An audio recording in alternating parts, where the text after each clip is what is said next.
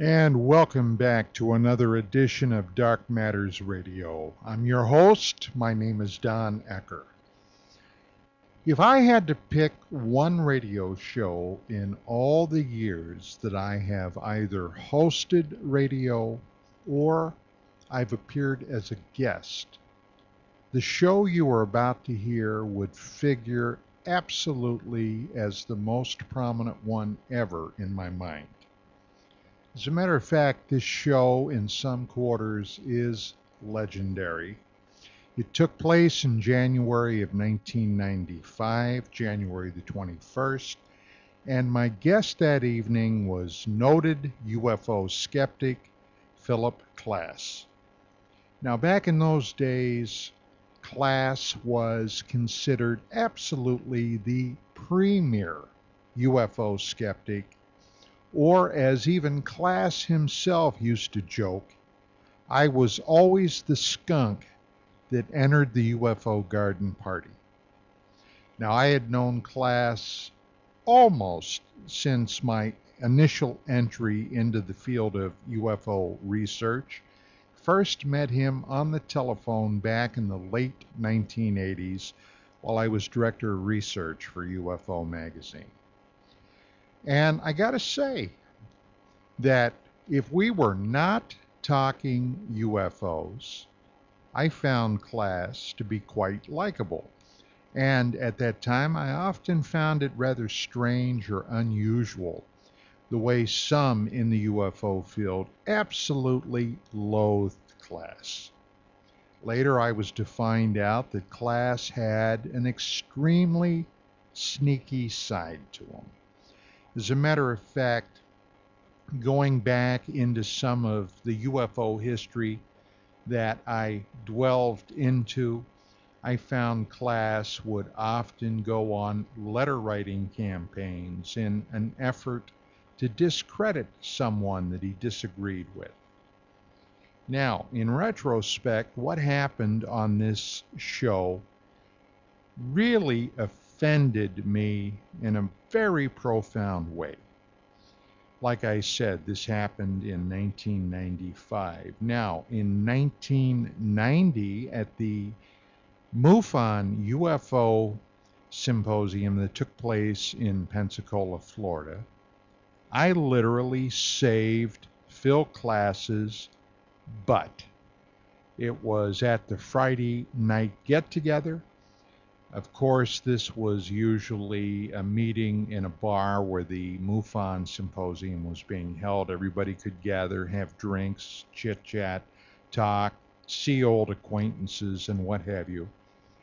And it was at that Friday night get together, I was sitting with Klass at a table down in Pensacola when a huge guy, about 250 pounds, came up to the table, obviously drunk, recognized Phil Klass, and literally started picking on Klass and got right in his face. Now, this offended me for a lot of reasons, not the least of which Phil was, at that time, getting up there in years. He was physically a small man, and it was apparent to me that he was quite well, I don't know if terrified is the right word, but he was very upset.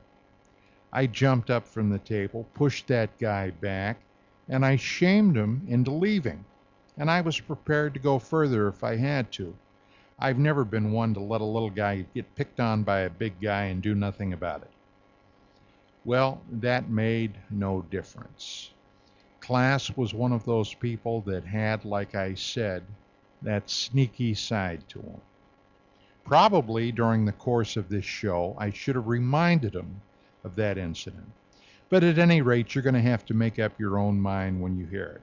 Now, this particular radio program becomes very obvious to the listener that Klass was contentious almost from the beginning. As you'll hear within the first half hour of the broadcast, Phil Klass was ready to hang up the telephone especially when I would start to point out some faulty holes in Phil's logic. And this was literally the last time I ever spoke to Phil Klass prior to his death. So, without a lot of further ado, let's get on with the show. I think you're going to find this vastly interesting. And uh, you're going to have to make up your own mind about what happened here. But on with the program. This is UFOs Tonight that took place January the 21st, 1995. Hope you enjoy.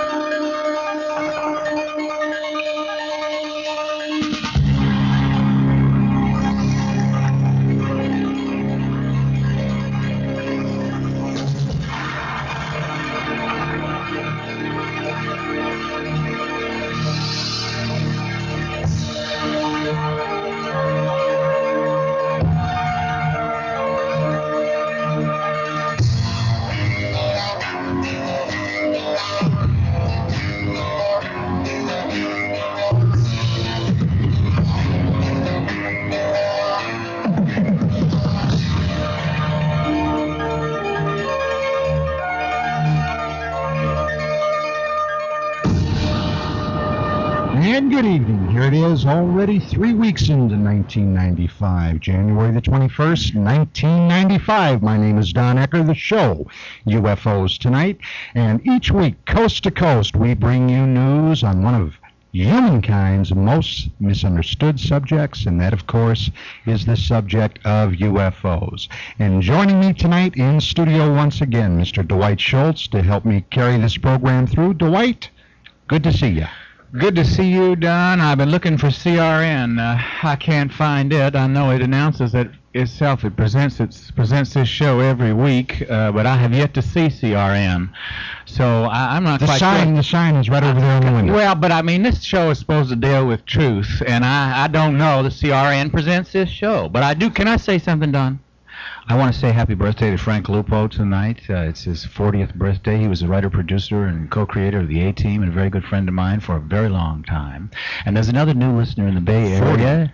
40. Big Can, can you can you trust anybody over uh, 30? I can trust anybody right about now as old as I am. Oh. So, uh, and we have another new listener tonight in the Bay Area, a very, very dear friend of mine, John Comerford, uh, a man who was my agent in New York City and um, I, is responsible for me making uh, some uh, some very, very good decisions uh, at, at a time when I, I didn't trust what I was hearing, and he told me and steered me in the, in the right way. And I'm I'm, I'm I'm I'm well off, I guess, today because of John, and uh, he's a bright. This is all touching, but what the hell does that have to do with UFOs? well, I, you, you, uh, told me I could say Oh, anything oh. I wanted to say. It didn't matter. I mean, isn't that what we do every week? go ahead, make me look bad, All right. And we have a great show tonight, and I want you to go ahead and tell everybody. This is a very special show for me because this is someone that I have uh, watched and read his books, and I've listened to him, and watched him debate, and uh, he is. Uh, he claims to be a voice of sanity and reason, and I think he, I think he is to a large degree, uh, but not all the time. And I've really been looking forward to this show tonight. Well, you know, this show presents all questions of the UFO question of the UFO enigma. Uh, we present all sides, just like UFO magazine does. We take a look at the pro as well as the con side. And tonight's guest is a special guest. It's a gentleman that was on this program uh, before, roughly a little over a year and a half ago, give or take a couple of months. Yes. And it's somebody that I've been trying to get back. And last summer, uh, for a number of months, I tried to get this gentleman on the uh, on the program because at that time, the question about the Roswell incident was heating up. Uh, What's there that, was Roswell? information. Well, this is this is a place where uh, there used to be an atomic bomb wing.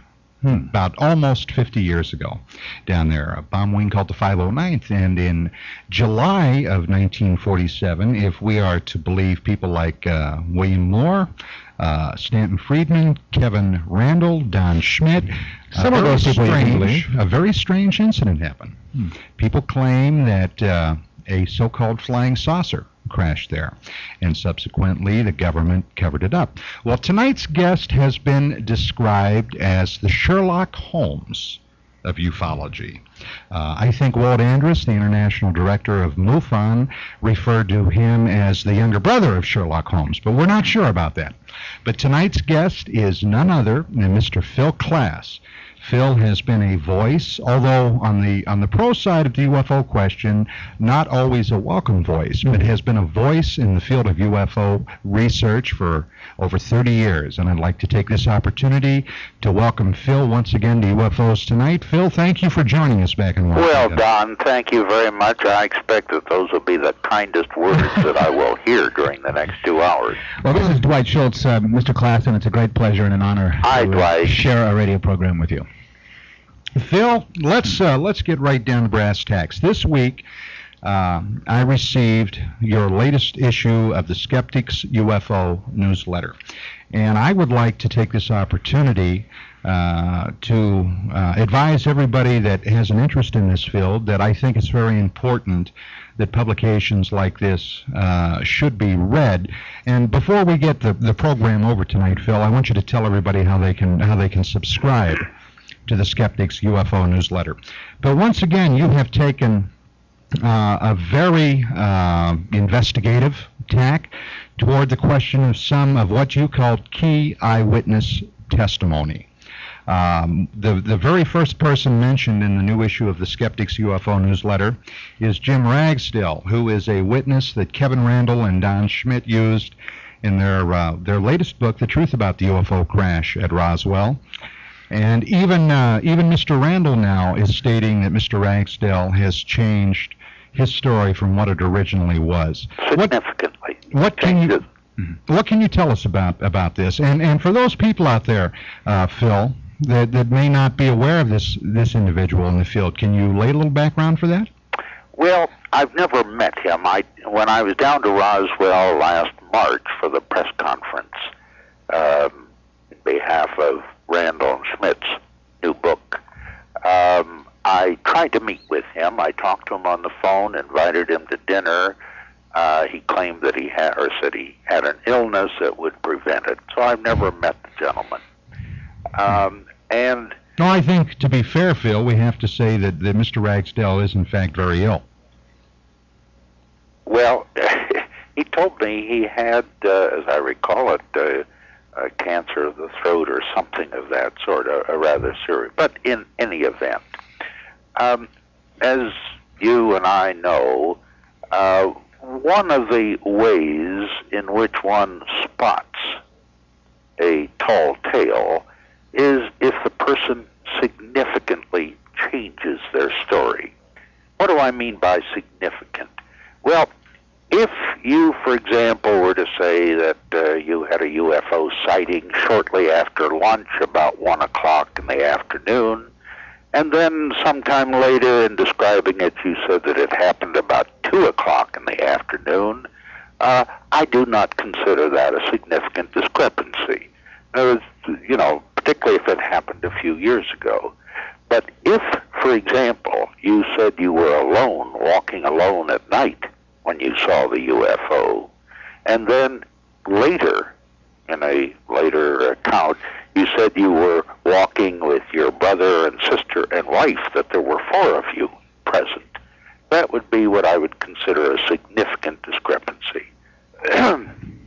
Well, the the uh, fact that Ragsdale, in fact, did change his story, and there is some speculation about this, uh, that it may have been for a monetary purpose. that was what Kevin Randle said Right. in his talk. Uh, and if Ragsdale had been the only witness to this event, that certainly would cast doubt on it.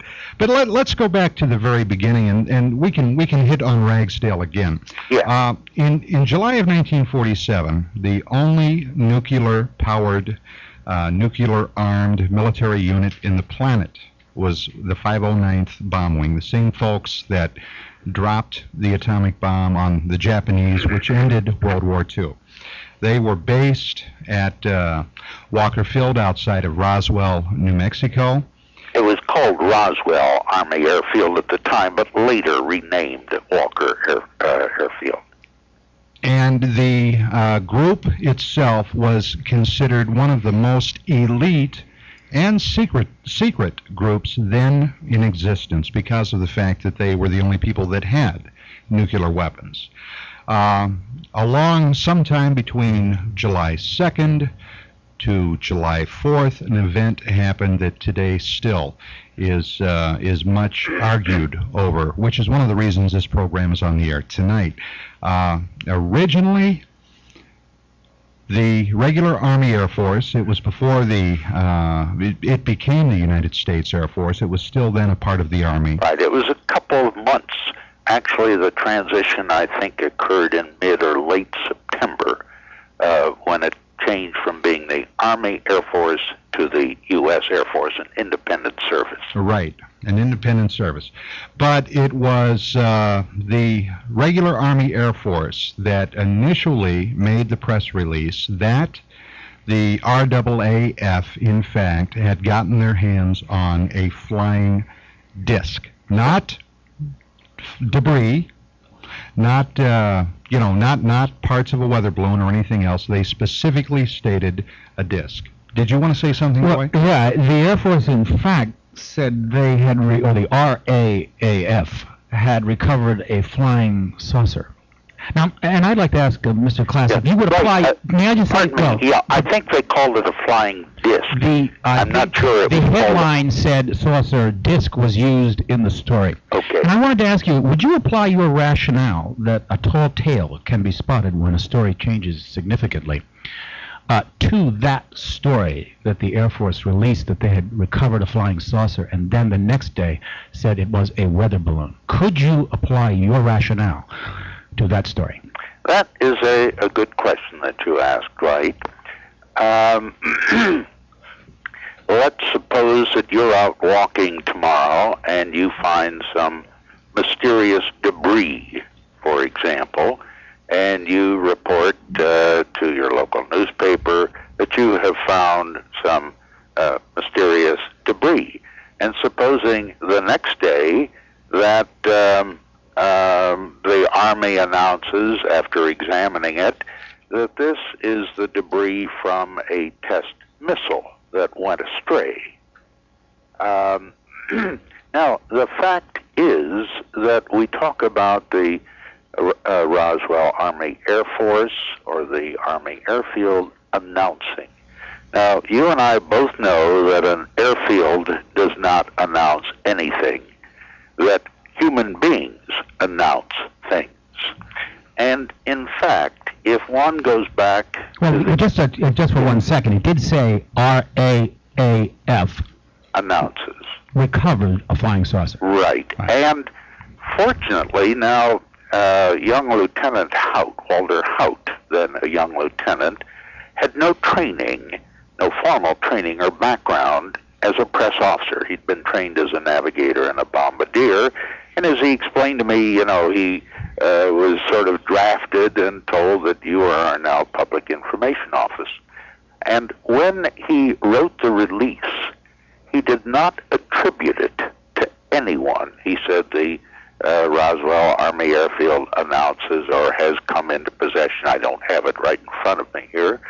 And the reporter at the Roswell Daily Record, being a good reporter, uh, said to him, uh, you know, to whom shall we attribute this? Um, shall I attribute it to you, young Lieutenant Walter Haut? And Haut told him, no, attribute it to Major Jesse Marcel, the intelligence officer. But Phil, wait a minute. We both know that Haut would not have taken that responsibility to write a press release about that unless he had been directed, which he also stated he was directed by Colonel Blanchard, who was the base commander. This is what he now states. But if you go back to the original um, release as reported in the Roswell Daily Record, But- and, and I can dig it out later, The point- the you point- will see that he attributed. He yeah, said, I have, I have the, I have the the uh, press Now, report in the book. But no, wait a minute. No, wait you a minute. think a young lieutenant would insult his commanding officer? I was Phil? in I was in the I was in the United States Army. Now I know that you had never served in uniform. Dwight has never served in uniform, but I can tell you from my own firsthand experience that had that young lieutenant had made a gaffe as huge as that, he would have been out counting socks in some supply room in the Antarctic because if in fact it was not, as has been stated, that they in fact did get a flying disc and he had not been authorized by his colonel, he would have been hung out to dry. Well, as a matter I of both fact, know that, as a matter of fact, now let me comment on these things, Don. As a matter of fact, a couple weeks later, Haut was transferred to another job. He told me uh, because of this gaffe, and Marcel, a few months later, was transferred to a desk job in Washington D.C. And Marcel was And- also promoted to a lieutenant colonel. And Marcel, two years later, in the middle of the Korean War, he resigned from the Air Force. And if you look Was at he his, promoted, at- Phil? at- and you look at his was Major Marcel promoted to a lieutenant colonel? um, I would have to check the record. Well, the but- answer the answer is yes, and the answer you is also no. Wait a minute. The answer is also that Marcel was the gentleman that wrote for President Harry Truman the press release that the Russians, in fact, had developed an atomic device. That is his claim, and it's another false claim. He says Now wait a minute. I Uh, just had Jesse Marcel Jr. on this program two weeks ago, and I asked him that specifically, and he said yes, his father in fact did write that release, which President Truman read. Uh, to announce to, All right, would you would you like to make a small ten dollar bet here, Don? As a matter of fact, if you'll check, Okay, you'll I'll tell you you'll find you'll find that President Truman did not make an announcement, did not read it on the radio, as Marcel wrongly recollected. Well, let me take a break. actually, the White House put out a press release. Let me, let me take a break for a commercial because we're two minutes past it, and when we come back, we'll continue this, okay? All right, fine. Okay, we are going to uh, continue with my guest tonight, joining us by telephone, telephone from Washington, D.C., Mr. Phil Klass, a senior editor with Aviation Week and Space Technology, and one of the best known skeptical uh, researchers of the UFO field around anywhere.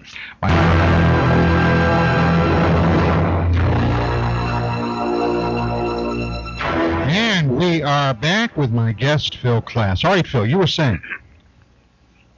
I, I just checked Marcel's records. You're correct. He was promoted to a lieutenant colonel on November 22nd, which would have been several months after this incident. And so, so we should get back to tall tales can be spotted when they change, when the story changes significantly. Well, the question that we discuss, were discussing was who really authorized the issuance of this release. Now, if Blanchard authorized it, certainly when Haut was asked who authorized this, on whose say so, he should have said Colonel Blanchard. But instead, and I'm reading from the original Roswell Daily Record, it says the intelligence office, this is the first sentence, the intelligence office of the 509th Bombardment Group at Roswell Army Airfield announced at noon today that the field has come into possession of a flying saucer. According to information released by the department over the authority of Major J.A. Marcel, intelligence officer, the disc was recovered on a ranch in Roswell, and so on. So it was Haut now claims that he was told to put out the release on the authority of Blanchard. If so, uh, he um, he made a major goof. So what we have to do is to depend on this original article that it was Major Marcel. Now I have heard Well, there's always another side to the coin that perhaps the reporter. Now, I'm just going going using your logic. Perhaps the reporter uh, made a gaffe. Perhaps the reporter made a mistake. Oh, come on. Yeah, per- perhaps, perhaps. But let's let's examine the Well, why, why would. Haut say today that Blanchard was the person that authorized it? I'm I'm curious. What what your reasoning is? I missed your your question, Don. I'm curious as to why you would discount today what what uh, Walter Haut has stated about Colonel Blanchard being the individual that authorized him to make the press release. That, that's his story today. Why why would he why would he change it if in fact it was Major Marcel that authorized him? Because Well- Blanchard Blanchard was was the base commander, would have been in Haut's chain of command. Marcel, who was the intelligence officer Mm-hmm. and not part of the press uh, chain of command, uh, wouldn't would not have been generally the person that would have authorized Haut to make that press release. So we're trying to determine, 47 years later, Almost who- 48. Who told Haut to put out the press release. Right. And according to the article, the first one published in the Roswell Daily Record, it was the intelligence officer office, not the base commander, not Blanchard, but Marcel. Now, I've heard it said, I've not been able to confirm this. As we both know, it was about, oh, roughly three weeks earlier that the first flying saucer, flying disc report made national headlines by Kenneth Arnold on June 24th. If we discount all the Foo Fighter reports from, Yeah, from the end of the and- Second World War Yeah, and Ezekiel's flying uh, flying wheel. and the Ghost Not- rockets, Let's the Ghost not get rockets. into Ezekiel. All right. So the the first report of that achieved national international prominence was the one of of uh, June 24th. That was just several weeks earlier, and as a result, there were dozens of maybe even hundreds of UFO sighting reports that were making. Now, as a result of what? Pardon? You just said as a result there were hundreds of reports. Now I'm asking, as a result of what? Of Are you suggest? No, I'm just saying. Are you? Were there hundreds of reports, or were the hundreds of reports the result of Kenneth Arnold's sighting? I want to know. Very, be very clear as to what you're saying. Um, they were, in my opinion, the result of the national um, Hysteria. uh, attention and widespread publicity. I just wanted to be very clear that that's what you were saying. Yes, yes. And so I've Because another rational person could take another position. Yeah. Yeah. Yes. I've heard it said, I've not been able to confirm it, that a prize, because of, you know, what are these? What are these flying discs? Uh, that a prize of $3,000 had been offered to anyone that recovered it, one of these flying discs. I've not been able to uh, confirm that, but I've seen references to it. It is conceivable, conceivable, that Major Marcel uh, had heard of that and that he hoped to be the one that collected the 3000 Mr. Klass, that is worthy of you. No, wait a minute, Phil. Phil. Now the man was an the man was the intelligence officer of the Yep. 509. Uh, And, and as we both know, his military. intelligence officers are never wrong. Oh well, Absolutely not. Nor is Phil Klass. Pardon? Nor is Phil Klass. Phil, that that's not worthy. That's not a worthy remark. I I don't for one second even would even conceive of that. This man was a combat veteran of of the Second World War. Not a combat veteran, a combat veteran. Boy, Phil, you're you're playing with fire because know, I've got the kill button here. I've got the kill button. Uh, this man was a combat veteran of the Second Didn't you World tell War. me to be nice to this man tonight? I did. I did. I mean, Phil. You know, Phil's back there. He's he's up late. He's he's uh, he's moving along now, and and we.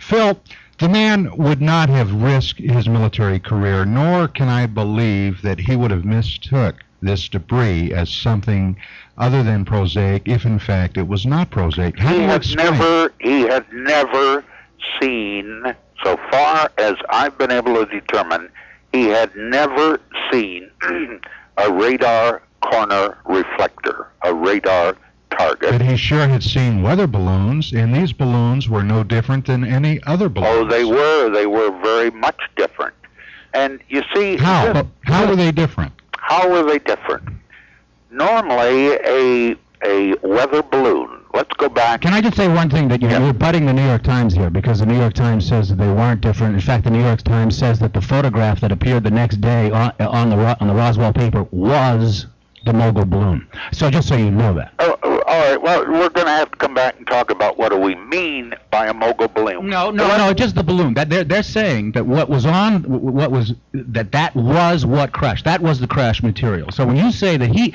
that that that Marcel didn't know what this looked like, that we all know what it looked like. That was not nothing extraordinary. It was All right, uh, well, gentlemen, I'll give you a choice. You either give me two minutes of uninterrupted speaking time, or I'm going to bed. Now you have your choice. Sure, you can have it in about four minutes, Phil, because in, in about a minute we've got to go to the half hour break. Well, as I say, you either give me, as a guest, the opportunity to respond without interruption, or else I'm going to bed. It's past midnight, and I'll give you your choice. Well, I just said sure as soon as we come back from the break. All right.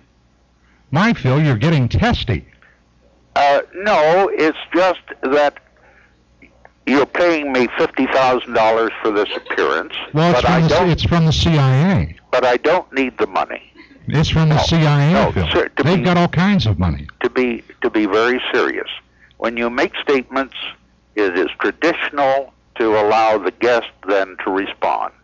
And what I was going to tell you was that radar was developed during World War II, highly secret at that time, and the average GI did not see uh, a, a radar target balloon. Okay, now, Phil, we're going to have to take a break. When we come back, All right. we'll continue with this.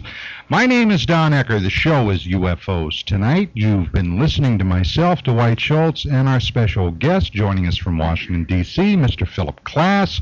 And by the sounds of it, I'd say Phil's upset. But when we come back, he's going to have his two minutes to finish on this idea of radar, and you're not going to want to miss this. We'll be taking calls shortly. I said we'll be taking calls shortly now that I'm on mic. And if you're within the 818-213 or 310 area codes, it's phenomenal.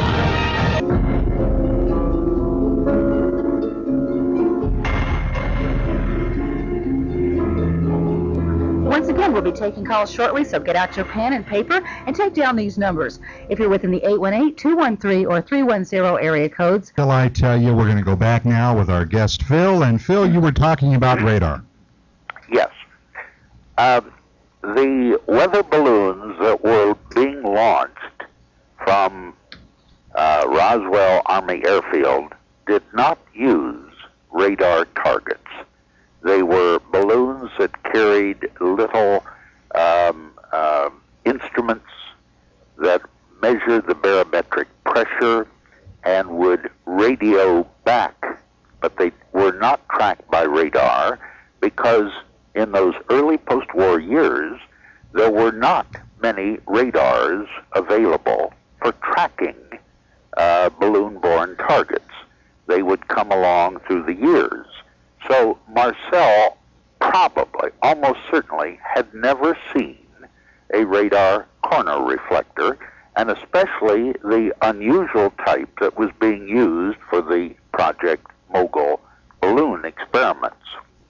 So it is not at all surprising that he would find the debris uh, unusual. Now let's let's read the description given the next day by rancher Mac Brazel, the man who found it, and let's listen to his description.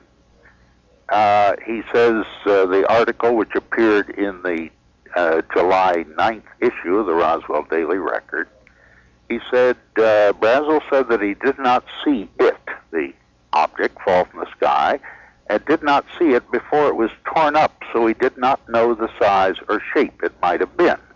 But he thought it might have been about as large as a tabletop.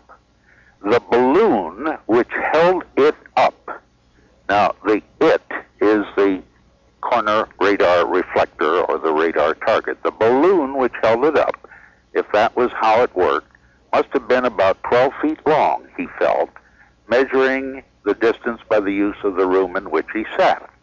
The rubber was a smoky gray in color and scattered over an area about 200 yards in diameter. When the debris was gathered up, the tinfoil, paper, tape, and sticks made a bundle about three feet long and seven or eight inches thick. While the rubber made a bundle about 18 or 20 inches long and about 8 inches thick. In all, he estimated the entire lot would have weighed maybe 5 pounds. Okay, now. That If, was if, if the in, description by the man who found the debris. right, if in fact uh, this material was, to begin with, let, let's just start looking at, at what Brazel is credited to have said. Because he's been dead for about 35 years now, roughly. Right. Uh, well, yeah. Uh, he died in the 60s, as I recall. About 1960 or 61, if I'm not mistaken. Yeah. If But this this, is what he material, said. This is what he said on the night of Tuesday night, July 8th, 1947. if this material was spread out over 200 yards, Yes. what would have caused these balloons to spread out over that over that distance? Because what we're talking about Let's, are, are let's very not just typical. talk balloon. Let's talk balloon and radar reflector. Well, what was the radar reflector but balsa wood and, and aluminum foil? There's nothing remarkable about either No, balsa wood well- or aluminum foil. Well, no, the aluminum foil would not. You need the aluminum foil to reflect the radar energy. Right. But aluminum foil has no structural strength. So what you do is you to make a radar reflector in those days, you take thin tinfoil and you glue it or attach it to some parchment paper, something that has structural strength that you need to support the uh, uh, structure of the radar target. And uh, furthermore, as uh, Professor Charles Moore has said, in terms of the Project Mogul balloon, to strengthen it, they the manufacturer added sort of like a scotch tape with colored flower figures of flowers and so on that he happened to have in his shop. So this is the radar reflector consists of parchment to which is attached tinfoil. But my point, Bill, is wood that there's not a thing about this that's remarkable. It's not remarkable if you have seen it, but if you've never seen one before, and if you've never seen the debris from a crashed one before, But, excuse it me. is unusual. Excuse me, just for a second. Uh, if take Brazel's description, the one that you've just given me, that came from the man, all right, himself, Yes. Scotch tape. Is there anything extra? He, he was able to recognize the Scotch tape, right? Um, He said that. He, so he recognized that. Then he recognized the rubber. Everything that you say, he said, is recognizable, and he obviously recognized it. So there was nothing extraordinary. He clearly was able to describe ordinary things. but Brazel had never seen anything like this before. Well, he had because he knew how to say Scotch tape. He knew how to say rubber. Knew how to say those things. They're not in your lexicon if you haven't seen it before. You say, I don't know what that stuff was. He said rubber. He said Scotch tape. He described it very accurately and eloquently. But it was the. Um, let me let me ask you this, Dwight. Supposing. Um, Can, oh, and I'm a little unclear. Did did did Brazel? uh, I'm sorry, I didn't mean to interrupt. But did Brazel's description appear before or after the Air Force retraction? Before or after what The Air Force retraction of the story. it appeared um, the next day after General Ramey, General Ramey in the early evening of Tuesday, July 8th, after the debris had been flown there and been examined by a man by the name of Newton, who was his meteorologist, who said, you know, it's a weather balloon and a radar target. And uh, so Ramey announced it um, the early evening, or I guess about six in the evening on Tuesday, and as almost as Ramey was announcing it in Fort Worth, or shortly afterwards, Brazel was being interviewed in the office of the Roswell Daily Record, both by their reporters and by a reporter named Kellahin, uh, Callahan uh, from the Associated Press office in Albuquerque, who had driven down following the announcement of uh, flying saucer being recovered. Well, let's jump ahead to, to approximately 1979, 1980, when Jesse Marcel was interviewed on the uh, television program In Search of, which was narrated by Leonard Nimoy.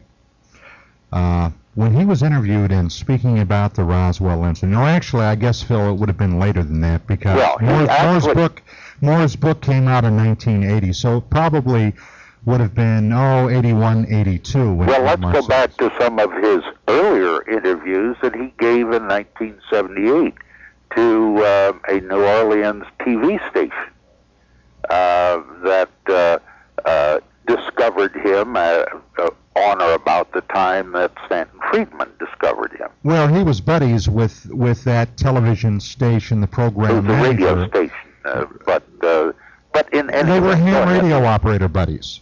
Yeah, go ahead.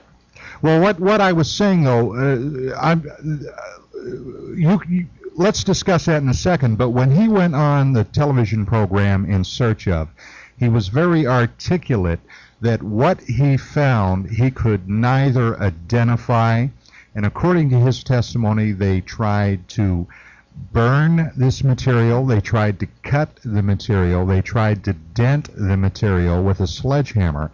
And he was very succinct in stating that the material could not be damaged, cut, or burned. They tried. This is what he said. Now, my, my question is if, if in fact this material was not some type of exotic material, but was in fact this prosaic black rubber, uh, balsa wood, aluminum foil, scotch tape, how could he not have, have harmed the material, and why would he have said that? All right, and that, that, those are good questions. Don, did you ever serve as an intelligence officer? I was involved in special operations, Phil. Right, I had but- a top okay. security well, clearance. Let's, let's let's try to imagine that you were Jesse Marcel, and let's turn back the clock, and you find this unfamiliar debris on the Brazel Ranch, and you bring it back. Now, this is 1947. Now you know the Cold War is getting hotter. As an intelligence officer, you know that the Russians have captured a number of very uh, clever uh, German engineers, taken them back to the Soviet Union to try to exploit their their expertise. So your first thought as an intelligence officer in July of 47 should be that, my gosh, maybe this is a Soviet spy vehicle that crashed here. All right. Now, as an Air Force, Army Air Force intelligence officer, you know that the largest center of technical expertise within the Army Air Force is at Wright Field. They have all kinds of metallurgists, they have all kinds of electronics experts there. Now you have in your hands what could be some very advanced material that the Russians have somehow, maybe through the Germans, uh, discovered and they're using to make spy vehicles. My gosh, would you try to burn this? Would you try to hit it with a sledgehammer? Heavens no. You would protect it as if it were life itself. You'd take it back. You would call Colonel Blanchard, say, Colonel Blanchard, notify Wright Field. We found this unusual material. We're taking excellent care of it. We're going to fly it to Wright Field and let them run tests in their laboratory. But according to what Marcel said, So, the if- debris field, now wait a minute, the Yeah. debris field was several hundred yards wide, and he estimated that this debris field was approximately three quarters of a mile long, and there was a lot of this stuff. Now, I can Now understand. that's what he recalled 30 years later, but we have Brazel's statement, which indicates, but again, as a matter of fact, if you will go back to the interview that Brazel gave back in 1978 or 79 to the New Orleans station, and I have a partial transcript You mean of that. Marcel? Marcel. Marcel, Right. yes. Uh, you will find that Brazel, 30 odd years later, said that he gave the stuff to the boys in the back room that he had more important work, paperwork to do. So he did not actually watch them allegedly hitting it with a sledgehammer or trying to burn it. He had more pressing paperwork. Okay, Phil, let's, All right, let's well, that tells you something about how urgent or important he thought it was at that time. I've got to take another quick break. When we come back, we'll continue this very fascinating conversation. My special guest tonight, Mr. Phil Klass, senior editor at Aviation Week Space Technology, and someone that has been chasing the UFO riddle for well over 30 years. My name is Don Ecker. The show is UFOs Tonight. You're listening to the Cable Radio Network, and stand by because we have lots more.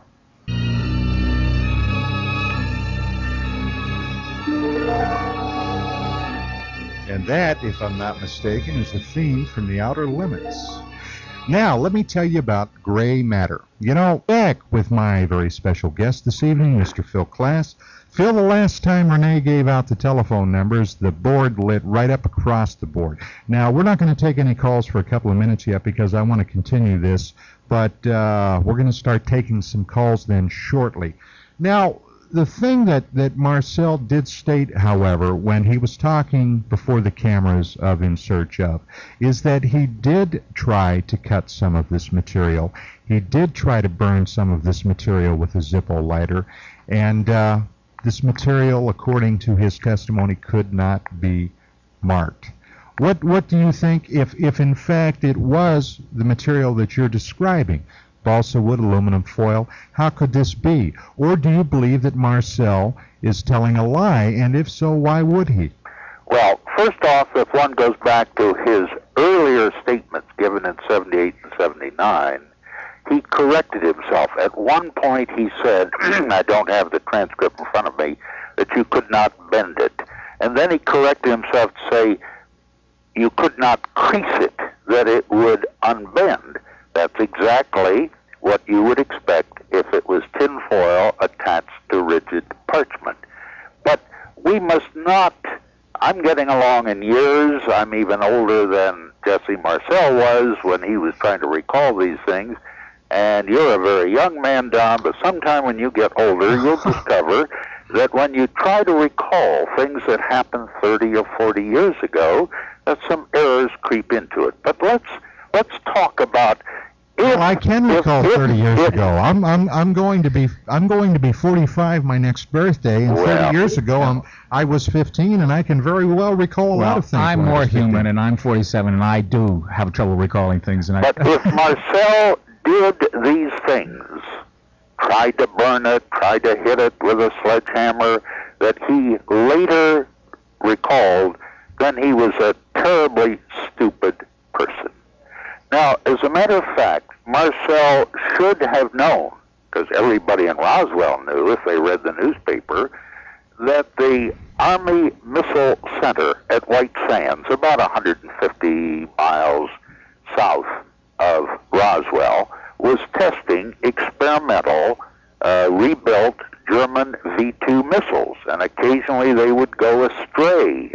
Uh, one uh, impacted uh, not too far from Roswell, another one fell into Mexico, and so on. But not Now, during this time frame.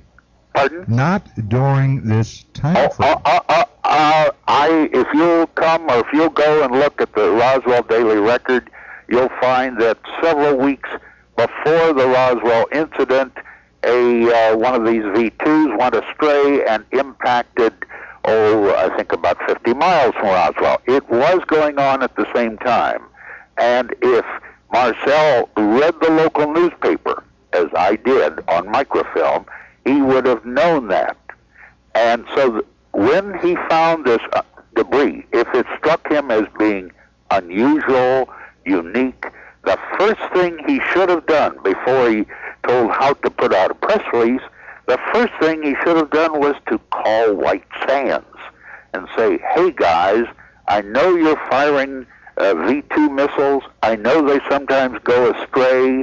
Uh, I found this unusual debris. Could it be from one of these formerly secret German V2 missiles?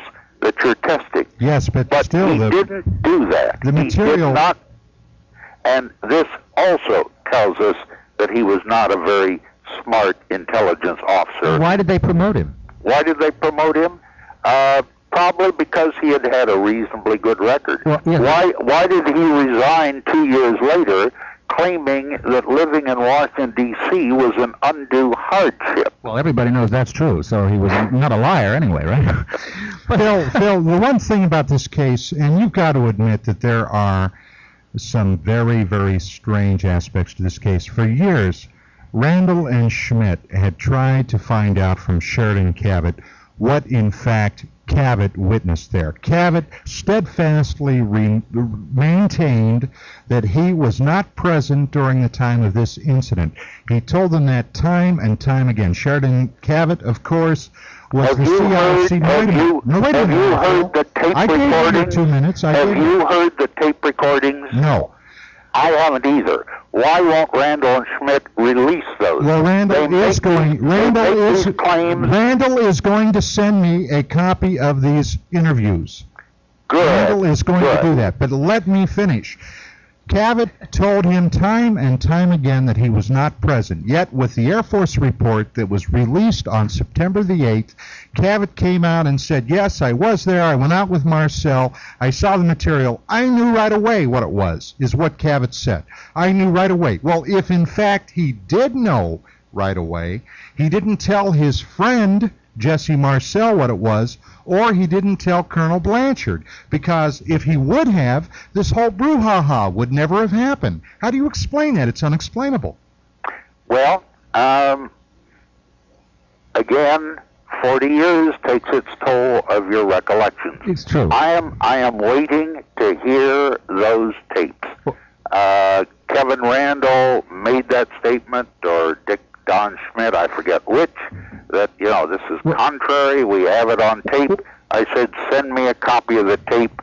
I've never heard from them. Well, let's stick to things that we can, uh, you know, we can look at in real time. Now, the William Broad, in his article in the New York Times front page, uh, indicates and says that that photograph was a mogul balloon. That's that photograph that appeared in the Roswell paper in the retraction was the mogul balloon. Now, you you can tell us today because you must know what that you, you know very well what that looked like was the debris that was there in the office that they were holding the mogul balloon.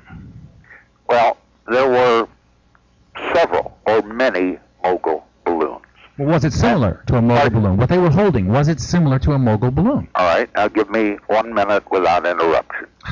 The debris that was found on the Brazel Ranch is believed to be that from a test balloon that was launched on June 4th to test the radar tracking. Could the radar successfully track it? And it was not one of the giant mogul balloons that would later be used to carry the very heavy instruments. It was part of the mogul program. But it is my understanding, and I confess that I've been much too busy with my condominium and my Aviation Week work to read all 700 pages of the Air Force documents, that these were more conventional, it was a cluster of more conventional weather balloons, a cluster carrying this unusual uh, shaped uh, radar target or corner reflector, or maybe carrying several of them, and possibly even a uh, an acoustic sensor. But it is my understanding that the Air Force, I'm not an Air Force spokesman, it is my understanding that the Air Force and Professor Charles Moore believe that the debris on the Brazel Ranch came from the June 4th launch, which was not a giant mogul type balloon. The But, the and incidentally, Randle and Schmitt agree that the photograph taken in Ramey's office does indeed show the debris from a balloon-borne radar target. yes. Now, the and, question- excuse me. Now you've had your minute. Now come on, Yeah. come on. General, the problem with this is that DuBose, General DuBose says categorically on tape that the material in the office was the cover. That the real material that had been collected was whisked away, and That's that not what he told Jaime that That is on tape, and I have heard that. That is you on heard tape. the Jaime Shandera. No, I've heard DuBose on tape say that no one ever saw All right, the well then you contact you, uh, Don Ecker. You know Jaime Shandera because Shandera published an article in the MUFON Journal, uh, a direct verbatim interview with DuBose. Do you trust that journal? uh, and DuBose, I'm going on my memory here, said the material. First off, he said Randle got- and Schmitt. He said. Randle and Schmitt never showed me those photographs in Ramey's office. If they had, I would have said yes, that's the material. But let's suppose. I've got the interview that Schmitt conducted with him, Phil, on videotape, and he says expressly, no, no doubt about it. All right. Well, the you get was changed. all right. Then you get the audio tape of the interview that Jaime Shandera had with DuBose, and of course DuBose was 92 years old at the time. But let's assume. All right. What's that have to do You with it? can't trust anybody over 70 is what you're saying to us. Well, what I'm what I'm saying to you is that if you will listen to the the the tape, the uh, Jaime Shandera tape, um, it, you will get quite a different impression. But let's assume, let's assume that that you are correct and that the debris photographed in Ramey's office was not the debris recovered on the Brazel Ranch. Let's assume that Ramey said, "Oh boy, we've got to keep this secret. We've got to find some substitute debris." Where in the world would Ramey, on short notice, be able to get his hands on a radar target and balloon-like material which had been lying in the sun for several weeks and was thus deteriorated? Well, I suppose he could call his meteorology office. He could talk, call Newton. And you recall that Newton, the meteorologist, does say he was called to come over to Ramey's office. But Newton, who is still alive today, has never said that General Ramey said, hey, find me an old balloon and an old radar reflector and beat it up into small pieces and bring that over to my office.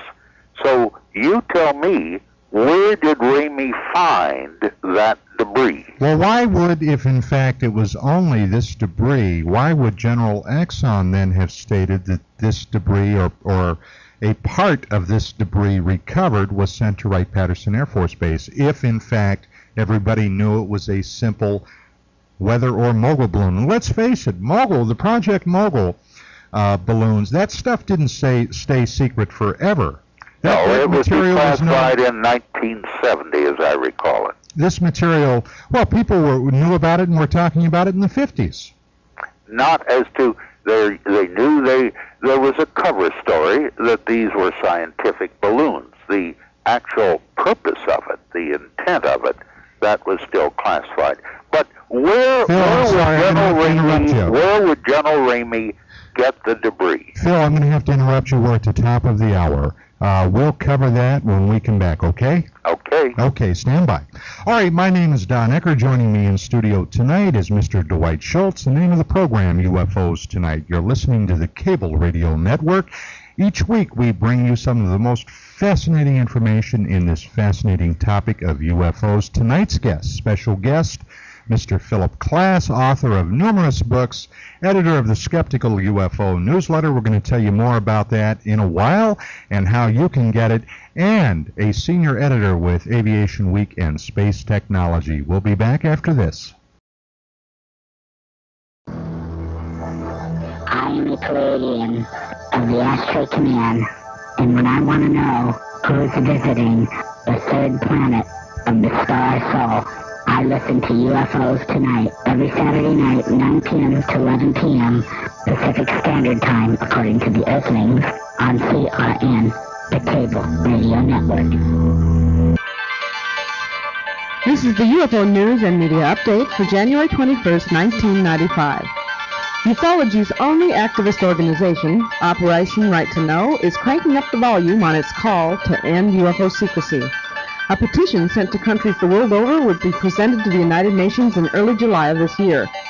Besides the petition drive, Operation Right to Know is asking for citizens of participating nations to make specific gestures in support of the UFO cause.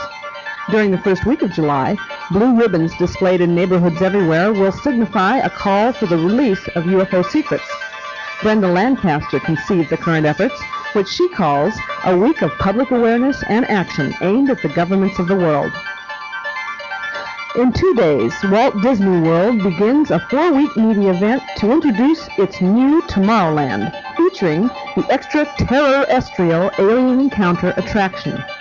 Disney honcho Michael Eisner feels it's not scary enough, we hear. There'll be other attractions, however. Starring the first two weeks is a roundup of top UFO researchers. The entire event will be moderated by your host for this show, Don Ecker. And speakers set to inform visiting journalists include Zecharia Sitchin, George Knapp, Russ Estes, Yvonne Smith, and abduction experiencers Terry Stone, Don Wells, and Vern Maltese. So, Disney meets UFOs, definitely a Tomorrowland kind of thing. UFO News and Media Update is brought to you by the best UFO publication on the planet, UFO Magazine. I'm Vicki Cooper. Now back to Don Ecker, Dwight Schultz, and their guest Philip Klass on UFOs Tonight.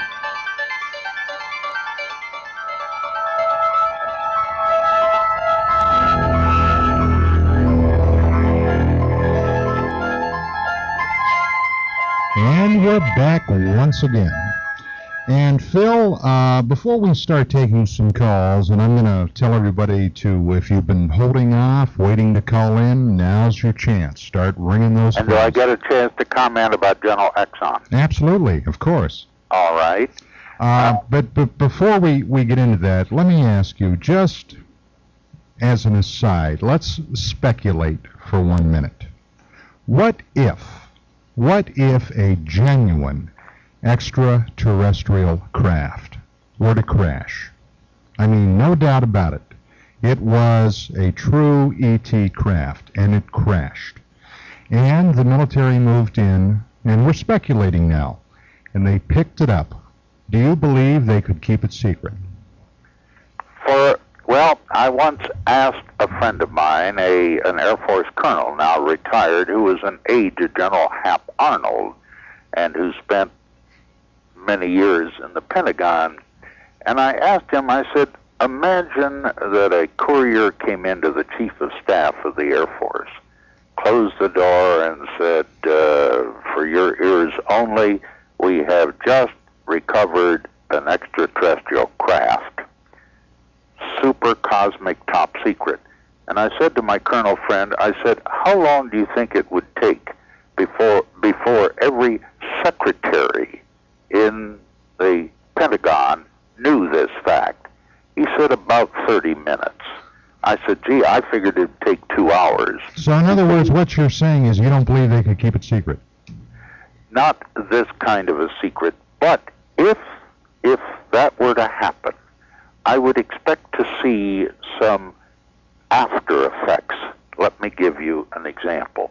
Supposing that the Air Force recovered an extraterrestrial craft at Roswell uh, in the summer of 47, then the word would go out. We've got, we don't know whether this is a precursor to an attack by the extraterrestrials. We've got to go all out to try to develop defenses against these uh, flying saucers. Now, at the time of the Roswell incident, July of 47, the Air Force was funding two programs, one at General Electric, one at Ryan Aeronautical, to develop supersonic air-to-air missiles. Now, you know, UFOs are supposed to be very fast, so you, this is what you would need to try to defend against it. A year after Roswell, they had the Air Force canceled both of those supersonic air-to-air missile programs, which is the last thing that you would do if you had any evidence that you had extraterrestrial visitors who might possibly be hostile. Well, it's obvious that they couldn't keep it all secret. I mean, we do know that, that something happened there. Uh, at Well- least, at least looking at it from my angle, from Dwight's angle, I think we would agree that it was something that has a very high degree of strangeness. But, Phil, the idea that the gov- government cannot keep a secret is ludicrous. You and I both know they can. They do it every day, and they Oh, do it sometimes for many years. Yeah. Just this past year, under President Clinton, Hazel O'Leary, who is the uh, director of the Department of Energy, released information about uh, civilians, uh, in, in many cases, uh, civilians, as we found out, that claimed to be terminal, were injected with radioactive material. Uh, mothers with nursing children were given radioactive material. Retarded children was fed plutonium in their milk. We know this happened. Just the other day in the New York Times, we now find out that healthy people were secretly poisoned by radioactive material. Now, if the DOE had not have released this information, it would still be top secret. How do you explain it? It's been 50 years. We know they can. And if it, in fact, were an extraterrestrial craft, according to scientist Wilbert Smith, who was a Canadian in 1950, he claimed that the United States government rated this two levels above top secret. Yep, that was his claim. Two levels above And I, I bomb. claim to be the smartest, handsomest ufologist in the world. Now, let's let's talk about the debris.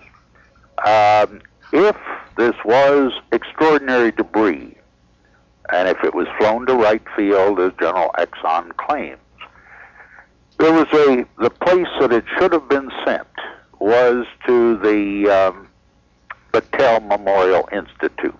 This was in an hour's drive away in Columbus, Ohio. And as Which, incidentally, is a civilian think tank. uh, well, it's not just a think tank. It was uh, they were the ones that in '52 were hired yes. to do the um Project Blue Book analysis of UFO reports. And in the May-June 1993 issue of International UFO Reporter, published by the Hynek Center for UFO Studies, uh, Jennie Zeidman, who had worked there at the time, had a most interesting article. And let me quote just a bit of it.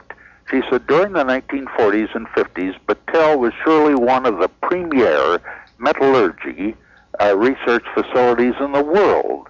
Battelle was well established as a trusted and respected facility for top secret work, including the Manhattan Project. Its staff included top metallurgists, welding technology experts, physical chemists, and so on and so on. The supposition that Battelle analyzed Roswell or other UFO artifacts is a simple and obvious theory.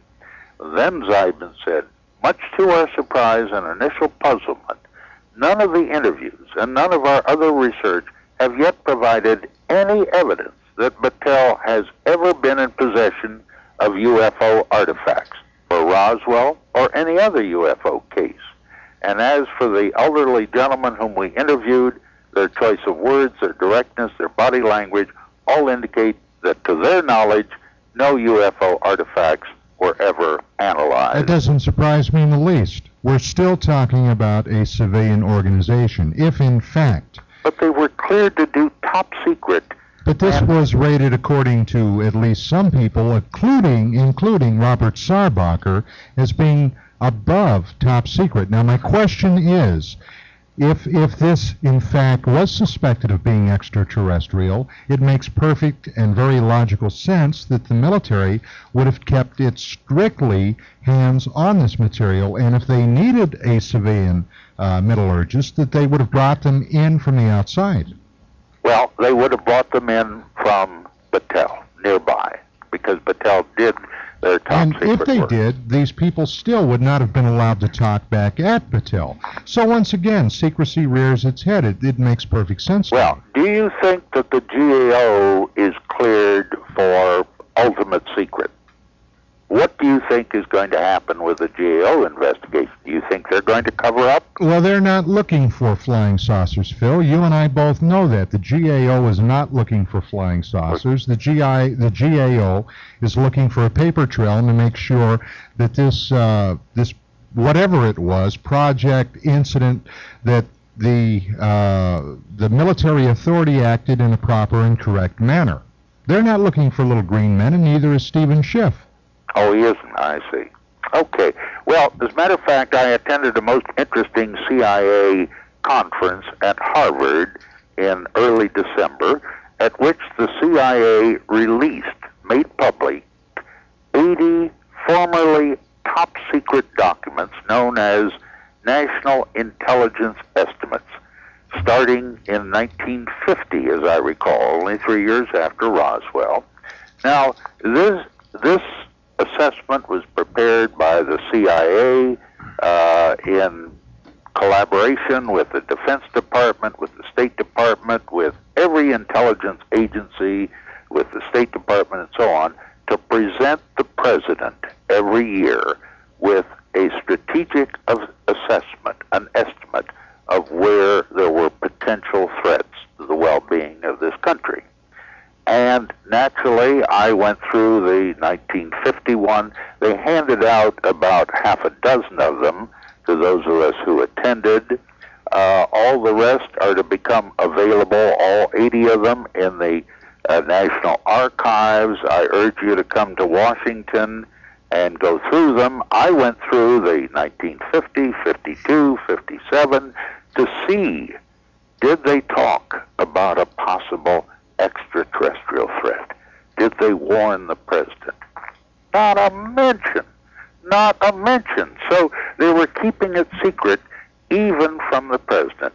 And as I have revealed in my uh, Skeptics UFO newsletter, I have quoted from once secret, top secret documents by top intelligence people that indicate that as of 1948, more than a year after Roswell, the current view, top secret view, was that if UFOs were actual craft, that they were probably Soviet spy vehicles. And in fact, uh, one of these top secret documents, dated December 10, 1948, uh, top secret, assessment by the Air Force and Navy, was released in the spring of 1985 that assessment was published, featured the MUFON UFO Journal. And it shows that, you know, everybody, dozens, hundreds of people that had no need to know in Roswell seemingly knew that we had extraterrestrial visitors, but all of the top defense government officials who should have been the first to know, nobody remembered to tell them. Well, then we've got to talk, if we're going to talk about that, about the 1948 Air Materiel Command estimate of the situation. Not Air Materiel Command. Well, the January 1953 Robertson panel. But before we do that, Phil, we got to take a break. And when we come back, we'll finish that up and we're going to start taking some calls. Fine. So please hold on. We are back. And Phil, 1953, the Robertson Scientific Panel is uh, something that has always fascinated me. If, in fact, 1953, which was approximately six months after the famous July 1952 overflights of the nation's capital, uh, the Central Intelligence Agency felt threatened to the point where they had to have some type of response to demystify this subject. Now, if there was nothing there to demystify, how do you explain they put this panel together? Well, if you will take time to read my book, UFOs the Public Deceived, or to go through the CIA documents that they released in the late 70s, if the answer to that question will be very obvious to you. Well, please explain it to me. I'd like it to right, be obvious. Fine. After the operators at the National Airport reported some mysterious blips on their then new but very old military radar. It was new to them. Uh, the headlines on the nation's newspapers were UFOs reported over Washington. And as the CIA papers reveal, the White House called. They called the uh, uh, Wright Field and talked to Colonel Ruppelt, uh, I mean Captain Ruppelt, um, and uh, as Ruppelt later reported, uh, it was uh, Truman's military aide who made the call, but he later heard that the president was listening in on the conversation. And the Air Force said, uh, we think it's due to a temperature inversion uh, because we've had problems with spurious targets before and hot, humid weather, but we've got to investigate it. So the Truman was a bit embarrassed, and the White House then called the CIA and said the Air Force says that they think it's only due to a temperature inversion, uh, but we'd like you to do an independent investigation.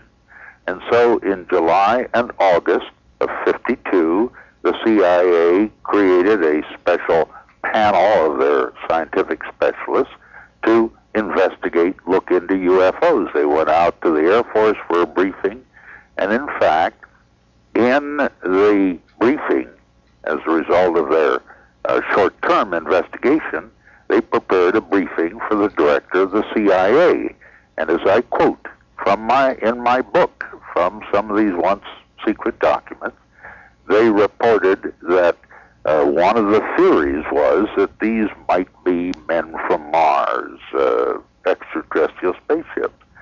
And I'm paraphrasing from memory, but the CIA document says, however, regrettably, we've never captured any craft or any debris or recovered any physical evidence.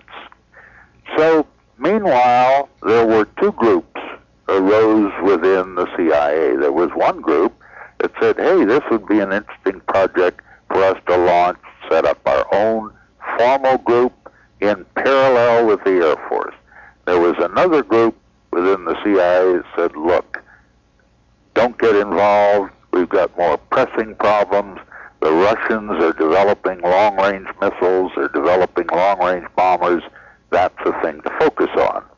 And so, if you will read my book, you'll find actual quotations from some of these internal memo- memoranda. Well, Phil, I have read your book, and that still does not explain the people that observed something that night other than the radar operators, including some of the radar operators who went Well, have outside. you- and, no, wait a minute. Now, I sat here quietly, Phil. Have you read you the. FAA report of uh, April 1953? Now, some of the result of their investigation of Some of the the observers included airline pilots flying commercial aircraft, and some of the military pilots admitted seeing something in the air that left at a tremendous speed and they could not catch up. As a matter of This fact, I, I have a letter in my files from one of those interceptor pilots who wrote to me and said, Mr. Klass, all we saw were lights in the sky.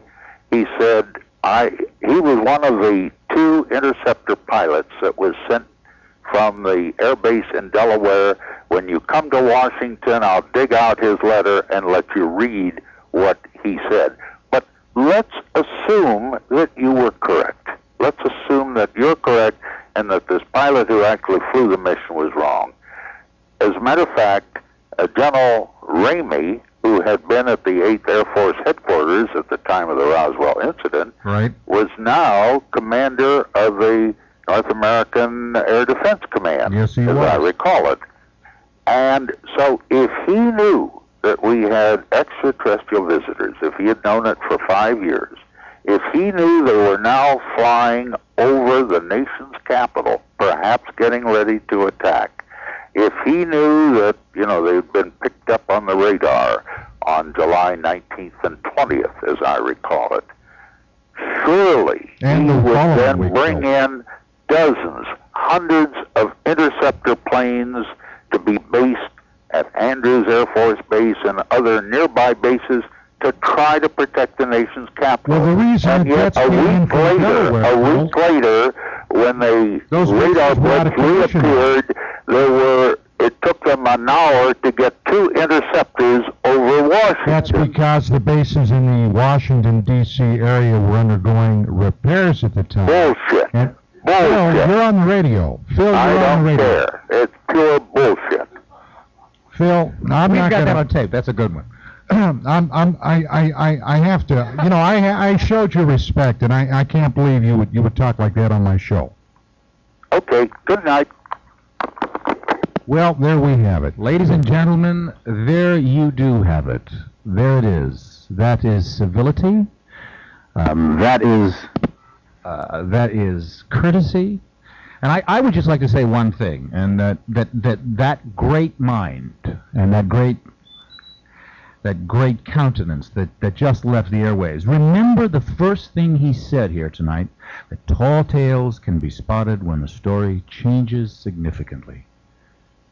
Just remember that when you're thinking about this subject, but I, I really feel sorry for all of the people who've been holding on. Well, Uh, let's let's take some calls anyway. I still can't figure out why he dropped off, I- other than being very tired. Well, other than the fact that I think uh, he was embarrassed for losing his temper, let's go to the phones. Uh, let's see, we've got Dave from Yucaipa and TCI. Dave? Well, this may work out better since Mr. Klass left. I was going to thank Mr. Klass for being, being willing to stay up until 1 or 2 in the morning in his area. First, a Happy New Year to everybody in the studio. And Mr. Klass, if he's still listening, No, No. Phil. Phil is gone. I, He doesn't have and, and for you people out there that, that may have heard some dead air, uh, because I, I guess Darren cut it off at the uh, Darren cut it off at the uh, with a seven second delay. Uh, Mr. Klass said a few bad words on the air, and that that may be- Pejoratives, a few, a few, a few nasties. He said a few nasty things. I still well- can't figure it out. A little unpredictable, Mr. Klass. well, well, maybe between the three of us, we can cover the notes that I left for Mr. Klass. Maybe we can just fill in basically because he was on for like an hour and 25 minutes. So let me just, uh, and besides that, everybody knows the word on UFOs tonight is bird poop, right? yeah. You said it, Dave, not me. anyway, uh, this is what I want to cover, okay? And if I can have as much time as possible, and then just let Four me go. minutes. Yeah, Two because- minutes. Because we're going to be at the half hour break. We can't give you more time than we gave. Oh, Phil Dwight, Klass, shut Dave. up. You, you gave Klass more time than you gave that me. expletive and go on. Come on. Okay, first, first of all, it is true that it, there was a reward out for any information on a crashed UFO back in the 40s. Brazel came, came up with a lot of money after he gave his ta- testimony. He did get a brand new truck, he got an electric generator, and he got a new refrigerator. Statement one is if there were no UFOs and it was the famous mogul bloom that Mr. Klass was talking about, the government sure wouldn't pay a reward of many tens of thousands of dollars back at that time. Was it a government? re- Uh, yes, reward? but this is this It was is from a newspaper. a newspaper, right? Yeah. this is uh, just basic standard knowledge. No, there was also a government reward, Don. There was. Hmm. Secondly, uh, we talked about this yes- yesterday, or, or I'm sorry, last week. Uh, Mr. Klass doesn't say where the alien story suddenly originated from. Thirdly, I think that Mr. Klass does have the right to speak his opinion, but I don't see, as far as the in-studio people, you and Renee and Vicki and, uh, and, and Mr. Schultz, uh, over the 30, 40 years that Mr. Klass has been a UFO skeptic, for what reason would you have him on the air to change his mind? We know he's not going to change his mind. Well, because So I believe I believe in, in presenting all sides of the argument, Dave. You know, I, I think everybody that's been listening to this show for any length of time knows that uh, that even though I'm skeptical, I very much acknowledge the reality of the phenomenon. But I, I I am not one of these people that just go, you know, in one direction. I believe in just like UFO magazine, in presenting all sides to the question. But it's also it's also important, Dave, to to uh, allow debunkers. Now, you know, this is an interesting. Debunker is a pejorative now, but it's really not a pejorative. Debunking means to to expose falsity. That's what it really means. But- But debunkers now today are not. They are part of the false. But you know, uh, Mr. Schultz, Yeah. Dwight, these debunkers all line up with four names: Block, Sagan, Klass, Oberg, the late Dr. Menzel, and the New York No, Times. you're absolutely right. I, I agree with you. But the, but tonight, I think we demonstrated, particularly early in the show, that the logic that is used to deal with this, and I, and and they do claim it is logic. Are, are you by chance talking about uh, that uh, Jesse Marcel wanted the million dollar reward? Well, it isn't just that Jesse Marcel wanted, but it's it's the whole concept of, of platitudes and slogans that are supposed to make you think you're too stupid to talk, but in fact, yeah, they could be hoisted Wait, on wait, their wait, wait, back up. You hit the nail right on the head about being too stupid to talk. That's exactly what I was saying when I mentioned Flock, Sagan, Klass, Oberg, Menzel, and the New York Times. but Those are very, w- wait a minute, those are very, very powerful names. Yes, they are. Those people that are peons like you, I, and Don, and the many people that are just civilians that got interested in the phenomena were the people that really broke the UFO story. Why are the Flocks, the Sagans, the Klasses, the Obergs, and the New York Times always the ones that people quote? Why are the people quoting Dwight Schultz and Don Ecker? I don't want them quoting me. And, and, and after what after what Phil Klass said on the air, which unfortunately was bleeped, I, I don't want him quoting him. Dave, it's it's worth a half hour. We got to move along. We got a lot I, of I phone need to cover one thing though, just real quick. Dave, we're at the at the half hour. Uh, Okay, spit it out me- real quick. Okay, in the current issue of UFO magazine, Paul Davids has an ad for a special that he did about the Roswell movie, and in those videotapes are the recordings that Phil Klass said don't exist. The uh, what was his man's name? Kravitz, the uh, the duty officer. Yeah. and yeah. Yeah. Okay, Dave. Bye bye. Thanks, Dick. Okay, we got another line open, so you've been trying to call in. Now's your time. We'll be back after this. His take on the UFO thing, he's, I, I've got to say it, he's intellectually dishonest with this information.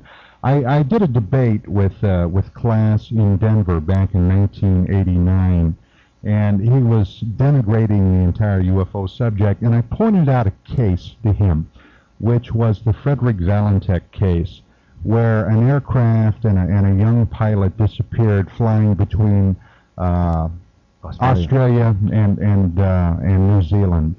Uh, after radioing in an emergency and the fact that he was having a UFO encounter, Klass's way of explaining that situation was to suggest that Valentich was perhaps a drug smuggler well, for the reason that he disappeared. And and tonight I Do you remember what his proof was? well, he had no proof except that, yeah. that Valentich had four life preservers Extra life preservers. on the aircraft. But but you know tonight seeing the same thing, and I'm beginning to suspect more and more debunkers, not not true intellectually honest skeptics, but debunkers will go to to any uh, extreme because they are so. The only thing I can I can surmise they're so threatened by this subject. Well, you know, up until this point, I've always treated Phil with respect, and I've always respected him, even though I've disagreed with him. But after tonight, I've got to say. That, that, that, that has certainly hit me the wrong way. I, I'm very upset about that. Well, it, uh, it was quite. If you can look, if anybody's, been, oh, if anybody's been listening, if there's anybody out there listening, if you think back to the evening, what these people say, and that's why I think Don is absolutely right that there is an intellectual dishonesty. You say these people didn't know, would not have known what they were seeing. They had never seen this before. What was it? Scotch tape, rubber, uh, seamstress tape with writing on it, balsa wood. You see, there is there there is a, these are polemicists, people who score points in forensic debate, but there is not a search for the truth. And when they are confronted with what a, what we we poor peons out here call common sense, there is turmoil inside the little brain there. There's turmoil because they're not used to dealing with common sense. Debunkers who are intellectually dishonest are used to taking statistics and very, very convoluted scenarios and twisting it and turning it away from the central issue until you get lost. Well, the only thing I can do is is, is apologize for uh, for his appalling bad manners. You know, I was thinking here just a second ago, if the situation were reversed and I would have been a guest on his program, the last thing in the world I would have done was was this horrible display that I witnessed tonight. It, I'm I'm I'm still very upset. Let's let's go to the phones. We've got uh, John in Yucaipa who's joining us on Southland Cable. John. Hello. This Hello. Is John. Yes, John. Look, You're on. Did you have something to say? Yeah, I, I it, it looks like uh, Mr. Klass finally showed his true colors there at the end, didn't it? No class in Klass. Yeah, by showing no class. He's been doing uh, a very poor job at trying to explain away UFO incidences. I think the U.S. government should fire him. Yes. Well, he still attends those CIA briefings, doesn't he? Yeah, that's You know, wonder. he's tired. Yeah, he's working with his condo, attending the CIA briefings, and uh, he's yeah. Well, and of course, you know, he was denigrating old uh, old DuBose because he was 92, and as I say, I guess he's just getting up there, and uh, you You know. know, thinking back when, when Travis Walton and Mike uh, Rogers were on Larry King when Fire in the Sky was released a couple of years ago, Klass went on Larry King with them and then turned around and swore at Mike Rogers, calling him a, a so-and-so liar. Yeah, I heard that. I remember that. He he denigrated. Let's see. Tonight he he started off by making fun of you and your pronunciation. He denigrated. Well, he uh, didn't like the way I said veteran, but Right. I wore the uniform That's and he right. didn't. You, uh, that's right. And he denigrated Marcel. Uh, he basically spends his time when he gets caught down one of those blind alleys by low blows. And that's precisely what it's about here. You know, you just show your colors eventually when there is somebody confronting you with a, even though this, look, this subject is arcane. This subject is mysterious, it's bizarre, it's out there. But there, but there is logic. There is a problem here. The government has thousands of documents on this subject. And that's not that's not because it's not important. It's because it is important. And when you are actually confronted, and I think he was for the first time tonight, that uh, as it appeared in the New York Times that this is a story and a myth created by kooks and cultists. No, this is a story that was created by the RAAF, the What, what's government of the United? States. What? What's really ridiculous is when they try to explain away all these UFO encounters by the public as mass hysteria, or it was Venus, or it was a, a fireball, or a huge firefly. Well, the the problem sky. is some of them are, but all of them are not. And the problem is they will find any explanation and use it over and over again to prove that everyone Well, is a Stan blithering- Friedman said it very well on October the 1st on the Larry King special out of Area 51. He said it's not a question of are UFOs extraterrestrial, but are any extraterrestrial. John, we've got to run along. I want to thank you for your call. Good night. And keep those eyes pointing to the sky. We're going to go to Florida. We're going to go to Carl, who's joining us from Sorrento, Florida on satellite. Carl, good evening. Hi, Don. How's it going? Us people listening on the phone heard what he said, but we'll never tell. no, please tell. We want this word to spread. I've, do. I've already told all my buddies on the radio. Oh, you We did. about five or six listening here on the satellite, you know. Carl, would you say I was polite and, and somewhat... Yeah, uh, well, I I was going to trap him. I was going to tell him how wonderful he was, and it was a good thing he was getting out the truth. And then I was going to lay this one on him. Maybe you've heard about this. About five weeks ago, somebody called from northern Michigan into um, uh, for the people, Chuck Harder, yeah? and he said that they had still photographs, 35 millimeter, blow up, almost as good as Billy Meier. And then I heard from another source that they've got at least 30 minutes of video. And then two weeks ago, Paul Harvey commented on it. I didn't hear Paul Harvey. So I was going to ask him, There was a woman in Michigan who who had uh, um, videoed this. Yes. yeah, well, this was a man. Uh, I could look it up. Well, there's Uh, a woman also. Okay, but the man called, and he said they were going nationwide with these pictures and everything.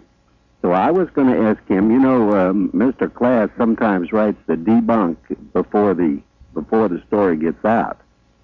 So I was going to ask him uh, what fraud this was. I'm sure he's heard about it. Have you heard anything? No, I haven't. I haven't, Carl. I haven't in the least. Well, it's in the grapevine, so Well, we'll uh, maybe keep we'll get to see him. we'll keep our ears peeled, my friend. Look, we've got we've got all the lines lit up. I've got to move along, but thank you, Carl, Good and, and keep listening. Okay, we're going to go go to we've got our old friend Ralph, I think, back. Ralph from Escondido. Ralph, how are you doing? Well, hi. How you doing? Just Good. fine. I- You you were on the uh, on the phone when uh, when Yeah. Klass blew up, weren't you? Yes, I was. Okay. Well, what was your your take on on Phil's uh, intellectual honesty? Well, you're putting me on the. You know, I've read. Damn right, I'm putting you on the spot. Yeah, I've read his articles for years. They're very thoughtful and accurate in in uh, Scientific terms, yes. in in Aviation Week. I would not expect him to blow up like that. I mean, I that's totally out of character, at least as I understand him. Well, I don't think it's out of character because I, I must tell you that this is, has been his behavior uh, throughout all of the debates that I have seen. Uh, in, um, ad hominem attacks uh, to, to make fun of somebody in the middle of uh, uh, an argument and to say pretty awful things about people. The comment about Marcel, uh, what he said about Valentich in the debate with Don, which was not on the show tonight, but it, it is a tip, it's typical behavior, and I don't understand how he has gotten to this point without it being pointed out to him. Because it, it's it is dishonest. and It is an example of uh, well, you, you know, your, when your intellectual capacities start breaking down, and it isn't because of his age. It's because the it's not the truth that you're dealing with. You can't follow the truth, so what you do is you call somebody a name. Well, you know, I was going to ask him about the 1974 helicopter incident in Ohio uh, because he did a detailed analysis of that, and I, I think that he re- that he said that the crew uh, confused up collective with down collective, which makes the helicopter go up and down. And I wanted to ask him about that. Unfortunately, he's not there. Well, Um, you you heard what, what Phil said, and if, if I I would have had to have cut him off, even if Darren uh, wouldn't have wouldn't have stopped the air, but uh, but he hung up. I mean, I was willing to keep going, but but Klass wasn't. So, uh, like a pundit said one time, class dismissed. I, I would like to. You know, I found something interesting out a few weeks ago. I saw Dr. Stanton Friedman on Larry King's Yes, you lived below him, didn't you? You lived you you lived uh, below Now- him now, in his books. Ralph- you were following Stanton. Be precise now. Stanton is not a doctor. He is not a PhD. That's right. Go ahead. Uh, I knew him as Dr. Stan Friedman, a new PhD from Chicago, University of Chicago. Hmm. And he went to work for the Aircraft Nuclear Propulsion Division. GE, right? And I was a young boy. I borrowed physics books from him, and I also borrowed uh, Donald Keyhoe's book from him, and that's how my interest got started. And when I saw him, I thought, my God, I know him. That's the Dr. Stan Friedman who uh, loaned me doc, uh, Keyhoe's and Edwards' books that got me started, uh, at least interested in, in UFOs. Well, did you see him on Larry King back in October at the Area 51 special? Yes, and that's where I first recognized him as the Dr. Stan Friedman that I Do you knew. remember what Larry said to him? He, he called him Dr. Friedman, and, and Stanton looked at him and said, Larry, please, no one unearned degrees. Well, I'm totally confused because I thought he was a PhD from the University of Chicago. no. No, he's, he's got an MA, but Well, he's, he's not a PhD. Frequently, people can act like a PhD to the point where you think they are. Mhm. And you know what that means, don't you?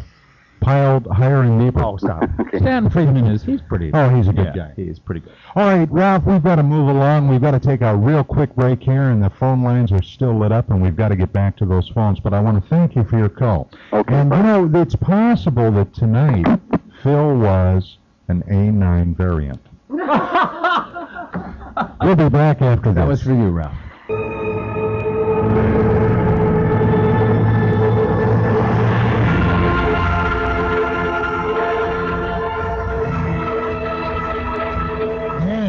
We are back.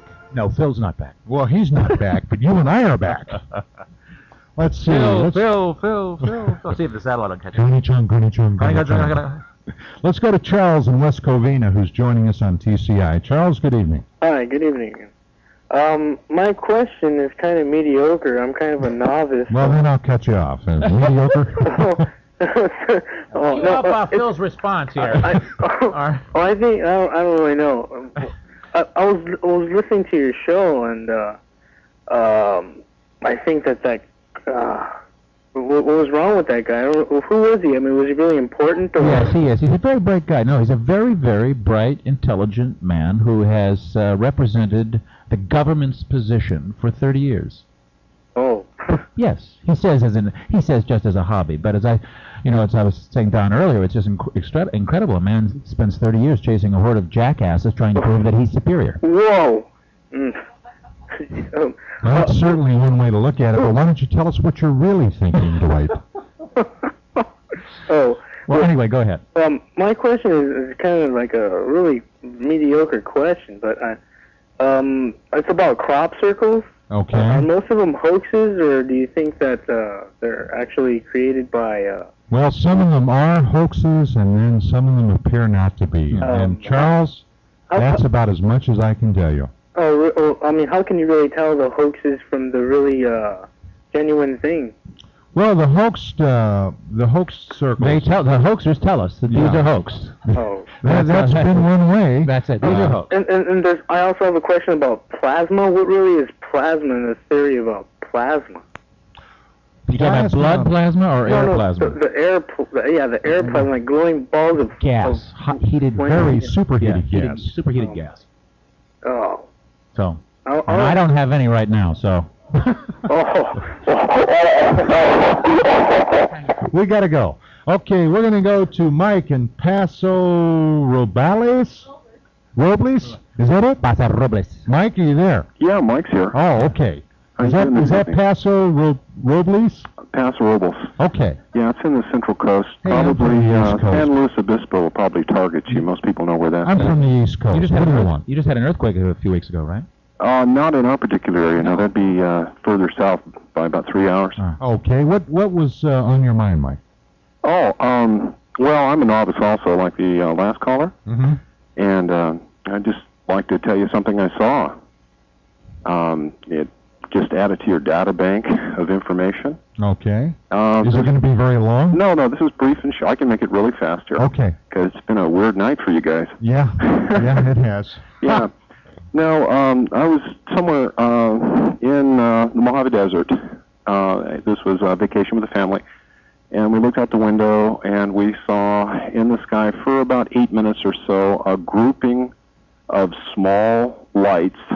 Uh, no, nothing distinguishing about them, like little colors or anything like that. But they were swirling around one another, almost as uh, sometimes you see birds do that in spring, large flocks of birds that tumble, and uh, it was just quite striking. Uh, they were left behind us as we were traveling in the car. In other words, they didn't stay parallel as we looked out, but they were swirling and moving and tumbling, and they were doing uh, uh, geometric figures in the air. And quite a long sighting. There was no noise. Uh, they didn't suddenly just like uh, disappear. There wasn't any tracers or anything like that. Uh, almost as if uh, tiny little flashlight beams were on your ceiling, like in your bedroom, very controlled, almost like laser beam light points, uh, or swarms of bees, would suggest. Yeah, um, just thought I would add that to you. Uh, I've never really talked to anybody. When that- was this, Mike? uh, this would probably be about in about 1964, 1965. Almost 30 years ago. Oh, quite a long time ago. Yeah. Did you see this with anybody else? Uh, yeah, my uh, my mother and my father uh, were in the front seats, and I was in the back, and uh, we were just How old were you then, Mike? oh gosh, I'd been about about 12. Okay. Uh huh. Your folks still living?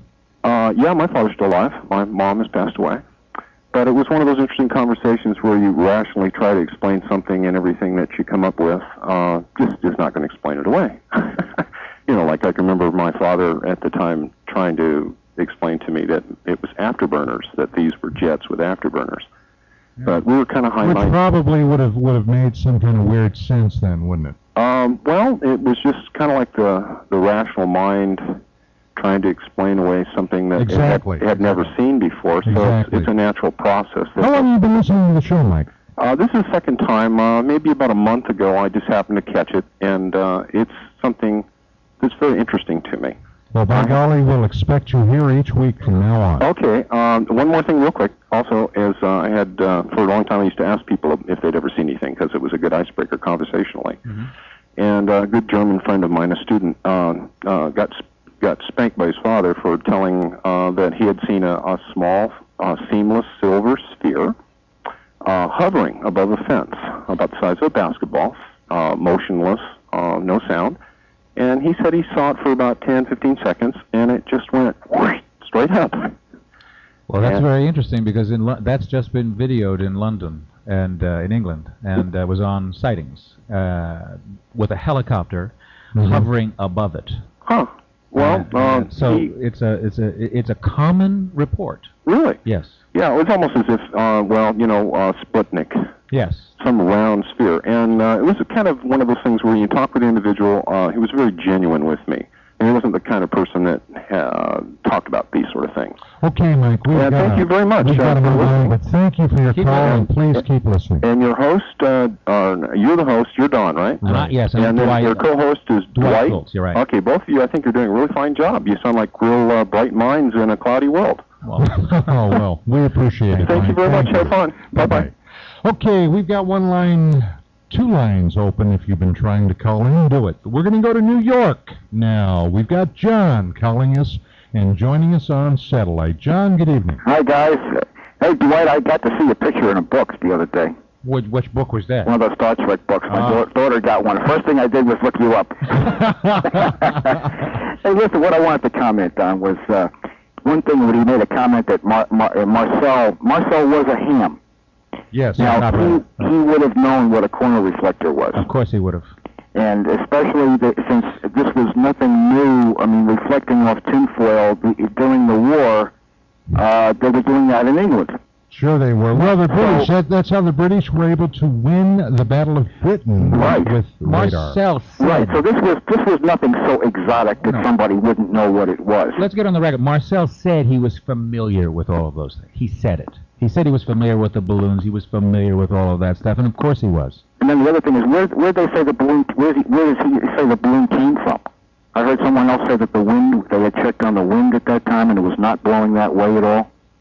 Well, that's that's Randle. Uh, Randle has said that they checked the me- meteorological data, Uh-huh. and that the other uh, launches, the other the previous launches, went in the opposite direction, and the the winds aloft were the same and hadn't changed, and that the Karl Pflock proposed mogul balloon would have followed uh, the pathway. Well, I was going to mention that to, to, to Phil this evening Can't- before know. he blew up and Yeah. hung up. Mhm. So, you know, that it's kind of like something a four-year-old would do, wouldn't you say?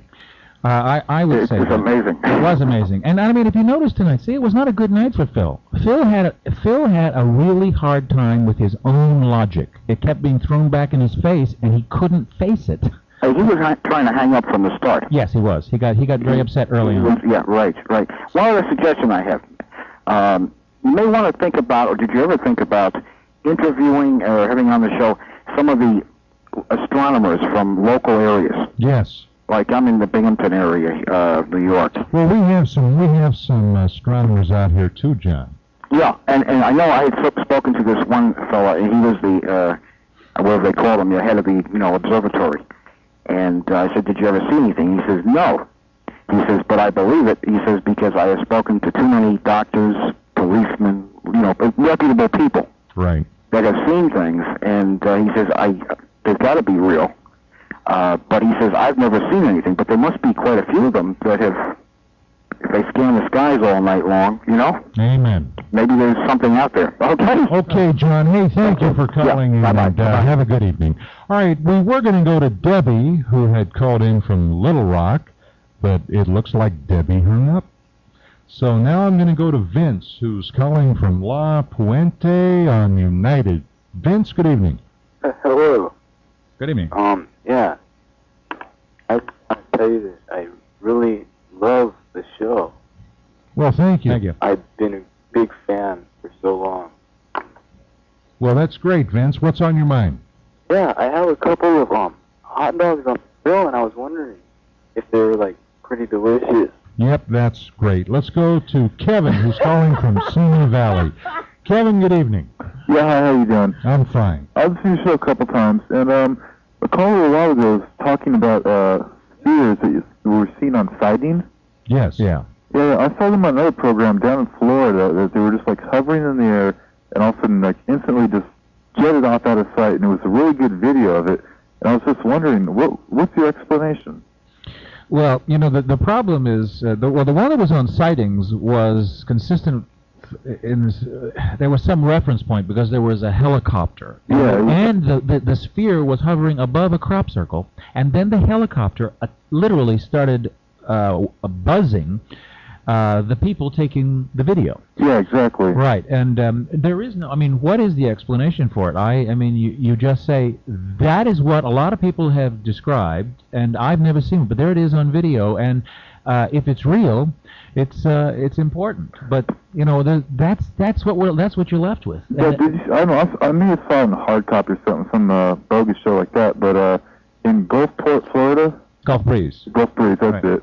And they were just like, there's like a, vi- a guy having a video, and you can see like a ball there or a spear, and all of a sudden it would sit there for a little bit, and it would just jet off, and you can actually see it jet off like to the left of the screen.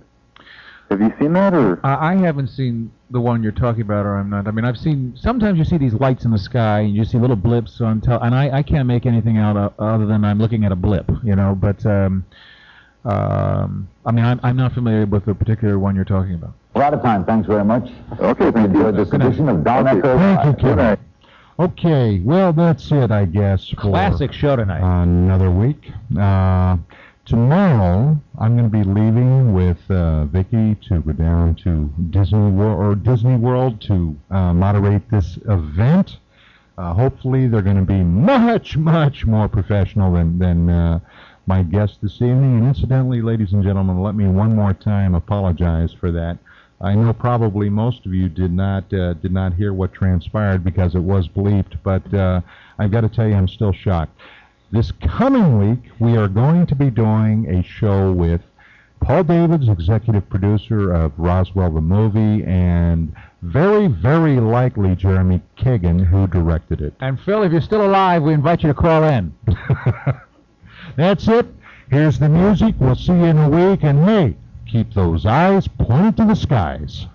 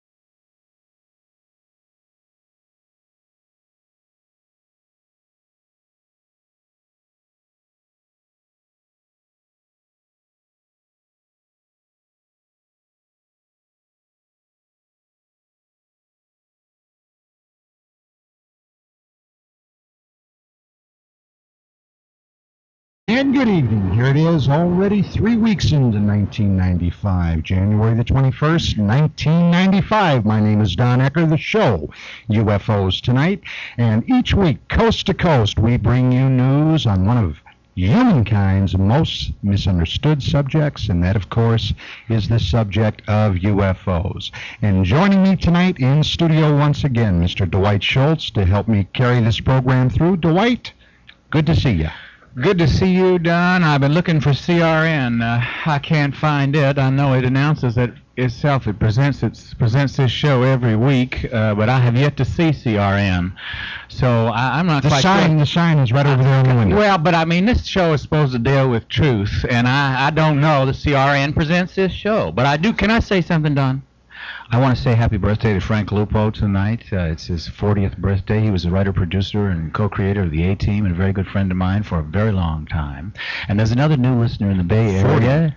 40. Big Can, can you can you trust anybody over uh, 30? I can trust anybody right about now as old as I am. Oh. So, uh, and we have another new listener tonight in the Bay Area, a very, very dear friend of mine, John Comerford, uh, a man who was my agent in New York City and um, uh, I, is responsible for me making uh, some uh, some very, very good decisions uh, at, at a time when I, I didn't trust what I was hearing, and he told me and steered me in the, in the right way. And I'm I'm, I'm I'm I'm well off, I guess, today because of John, and uh, he's a bright. This is all and a wonderful- touching, but what the hell does that have to do with UFOs? Well, I, you, you, you told me I could say Oh, anything oh. I wanted to say. It didn't matter. I mean, isn't that what we do every week? Go ahead, make me look bad, All right. and we have a great show tonight, and I want you to go ahead and tell everybody. This is a very special show for me because this is someone that I have uh, watched and read his books, and I've listened to him and watched him debate, and uh, he is uh, he claims to be a voice of sanity and reason, and I think he I think he is to a large degree, uh, but not all the time. And I've really been looking forward to this show tonight. Well, you know, this show presents all questions of the UFO question of the UFO enigma. Uh, we present all sides, just like UFO Magazine does. We take a look at the pro as well as the con side. And tonight's guest is a special guest. It's a gentleman that was on this program uh, before, roughly a little over a year and a half ago, give or take a couple of months. Yes. And it's somebody that I've been trying to get back. And last summer, uh, for a number of months, I tried to get this gentleman on the uh, on the program because at that time, the question about the Roswell incident was heating up. Uh, What's there that, was Roswell? information. Well, this is this is a place where uh, there used to be an atomic bomb wing. About almost 50 years ago, down there, a bomb wing called the 509th, and in July of 1947, if we are to believe people like uh, William Moore, uh, Stanton Friedman, Kevin Randle, Don Schmitt, Some a of very those people strange- a very strange incident happened. Hmm. People claim that uh, a so-called flying saucer crashed there, and subsequently the government covered it up. Well, tonight's guest has been described as the Sherlock Holmes of ufology. Uh, I think Walt Andrus, the international director of MUFON, referred to him as the younger brother of Sherlock Holmes, but we're not sure about that. But tonight's guest is none other than Mr. Phil Klass. Phil has been a voice, although on the on the pro side of the UFO question, not always a welcome voice, but has been a voice in the field of UFO research for over 30 years. And I'd like to take this opportunity to welcome Phil once again to UFOs tonight. Phil, thank you for joining us back in Washington. Well, Don, thank you very much. I expect that those will be the kindest words that I will hear during the next two hours. Well, this is Dwight Schultz, uh, Mr. Klassen. It's a great pleasure and an honor Hi, to uh, Dwight. share a radio program with you. Phil, let's uh, let's get right down to brass tacks. This week, uh, I received your latest issue of the Skeptic. Delved into, I found Klass would often go on letter writing campaigns in an effort to discredit someone that he disagreed with.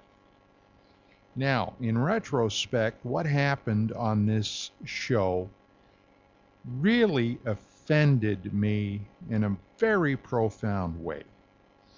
Like I said, this happened in 1995. Now, in 1990, at the MUFON UFO symposium that took place in Pensacola, Florida, I literally saved Phil Klass's butt. It was at the Friday night get together.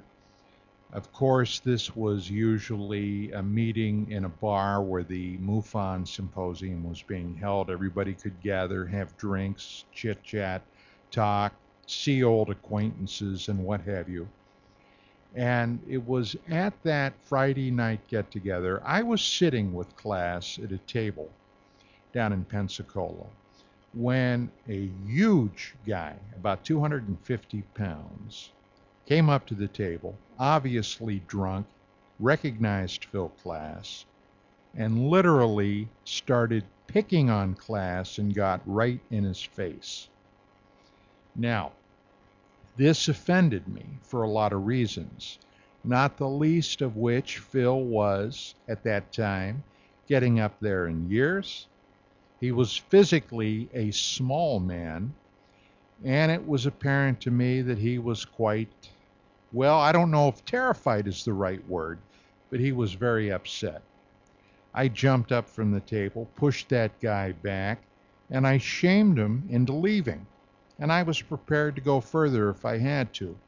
I've never been one to let a little guy get picked on by a big guy and do nothing about it. Well, that made no difference. Klass was one of those people that had, like I said, that sneaky side to him. Probably during the course of this show, I should have reminded him of that incident. But at any rate, you're going to have to make up your own mind when you hear it. Now, this particular radio program becomes very obvious to the listener that Klass was contentious almost from the beginning. As you'll hear within the first half hour of the broadcast, Phil Klass was ready to hang up the telephone, especially when I would start to point out some faulty holes in Phil's logic. And this was literally the last time I ever spoke to Phil Klass prior to his death. So, without a lot of further ado, let's get on with the show. I think you're going to find this vastly interesting, and uh, you're going to have to make up your own mind about what happened here. But on with the program. This is UFOs Tonight that took place January the 21st, 1995. Hope you enjoy.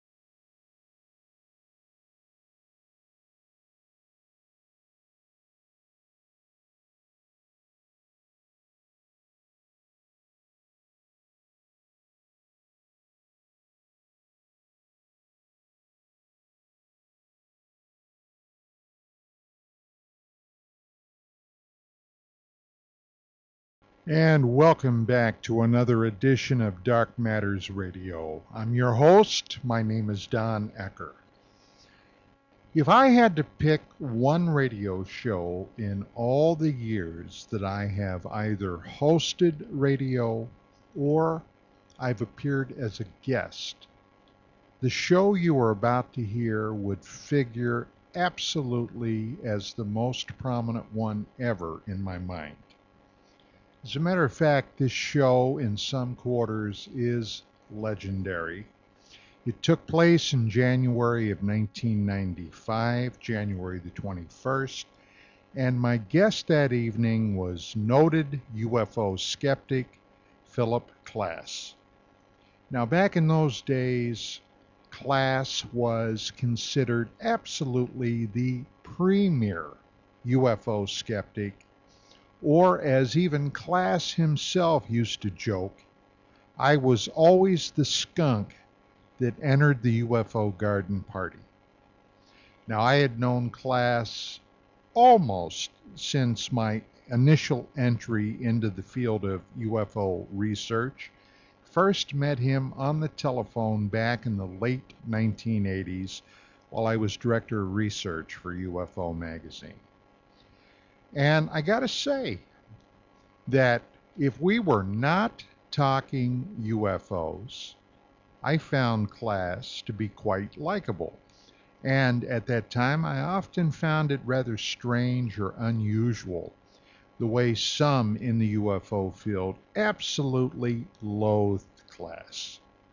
Later, I was to find out that Klass had an extremely sneaky side to him. As a matter of fact, going back into some of the UFO history that I UFO newsletter.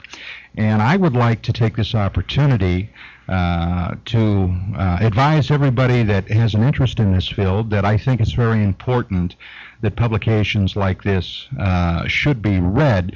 And before we get the, the program over tonight, Phil, I want you to tell everybody how they can how they can subscribe to the Skeptics UFO newsletter. But once again, you have taken uh, a very uh, investigative tack toward the question of some of what you called key eyewitness testimony. Um, the, the very first person mentioned in the new issue of the Skeptics UFO newsletter is Jim Ragsdale, who is a witness that Kevin Randle and Don Schmitt used in their, uh, their latest book, The Truth About the UFO Crash at Roswell. And even, uh, even Mr. Randle now is stating that Mr. Ragsdale has changed his story from what it originally was. Significantly. What, what can you what can you tell us about about this? And and for those people out there, uh, Phil, that, that may not be aware of this this individual in the field, can you lay a little background for that? Well, I've never met him. I when I was down to Roswell last March for the press conference um, in behalf of Randle and Schmitt's new book.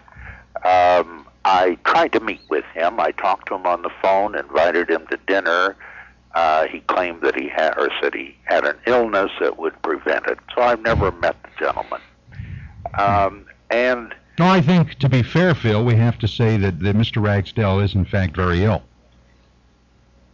Well, he told me he had, uh, as I recall it, uh, uh, cancer of the throat or something of that sort, a, a rather serious. But in any event, um, as you and I know, uh, one of the ways in which one spots a tall tale is if the person significantly changes their story.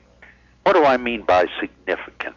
Well, if you, for example, were to say that uh, you had a UFO sighting shortly after lunch, about 1 o'clock in the afternoon, and then sometime later in describing it, you said that it happened about 2 o'clock in the afternoon. Uh, I do not consider that a significant discrepancy. Words, you know, particularly if it happened a few years ago. But if, for example, you said you were alone, walking alone at night when you saw the UFO, and then later, in a later account, you said you were walking with your brother and sister and wife, that there were four of you present. That would be what I would consider a significant discrepancy. well, the the uh, fact that Ragsdale, in fact, did change his story, and there is some speculation about this, uh, that it may have been for a monetary purpose. That was what Kevin Randle said Right. in his talk. Uh, and if Ragsdale had been the only witness to this event, that certainly would cast doubt on it. But let, let's go back to the very beginning, and, and we can we can hit on Ragsdale again. Yeah. Uh, in in July of 1947, the only nuclear-powered, uh, nuclear-armed military unit in the planet was the 509th Bomb Wing, the same folks that dropped the atomic bomb on the Japanese, which ended World War II. They were based at uh, Walker Field outside of Roswell, New Mexico. It was called Roswell Army Airfield at the time, but later renamed Walker Air, uh, Airfield.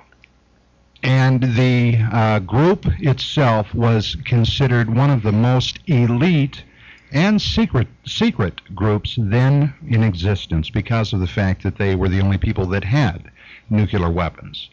Um, along sometime between July 2nd to July 4th, an event happened that today still is uh, is much argued over, which is one of the reasons this program is on the air tonight. Uh, originally, the regular Army Air Force, it was before the, uh, it, it became the United States Air Force. It was still then a part of the Army. Right. It was a couple of months. Actually, the transition I think occurred in mid or late September uh, when it changed from being the Army Air Force to the U.S. Air Force, an independent service. Right, an independent service. But it was uh, the regular Army Air Force that initially made the press release that the RAAF, in fact, had gotten their hands on a flying disc. Not debris, not uh, you know, not not parts of a weather balloon or anything else. They specifically stated a disc. Did you want to say something, Well, Roy? yeah, the Air Force, in fact, said they had, re- or the RAAF had recovered a flying saucer.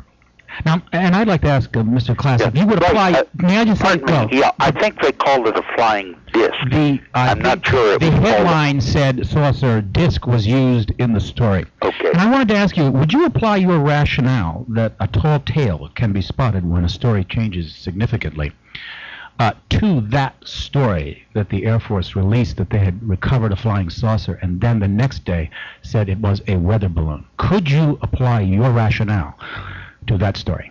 That is a, a good question that you asked, right? Um, let's suppose that you're out walking tomorrow and you find some mysterious debris, for example, and you report uh, to your local newspaper that you have found some uh, mysterious debris. And supposing the next day that um, um, the Army announces, after examining it, that this is the debris from a test missile that went astray. Um, now, the fact is that we talk about the uh, uh, Roswell Army Air Force or the Army Airfield announcing. Now, you and I both know that an airfield does not announce anything, that human beings announce things. And in fact, if one goes back Well, just uh, just for one second, it did say RAAF announces. recovered a flying saucer. Right. And fortunately, now uh, young Lieutenant Haut, Walter Haut, then a young lieutenant, had no training, no formal training or background as a press officer. He'd been trained as a navigator and a bombardier. And as he explained to me, you know, he uh, was sort of drafted and told that you are now public information office. And when he wrote the release, he did not attribute it to anyone. He said the uh, Roswell Army Airfield announces or has come into possession. I don't have it right in front of me here. And the reporter at the Roswell Daily Record, being a good reporter, uh, said to him, uh, you know, to whom shall we attribute this? Um, shall I attribute it to you, young Lieutenant Walter Haut?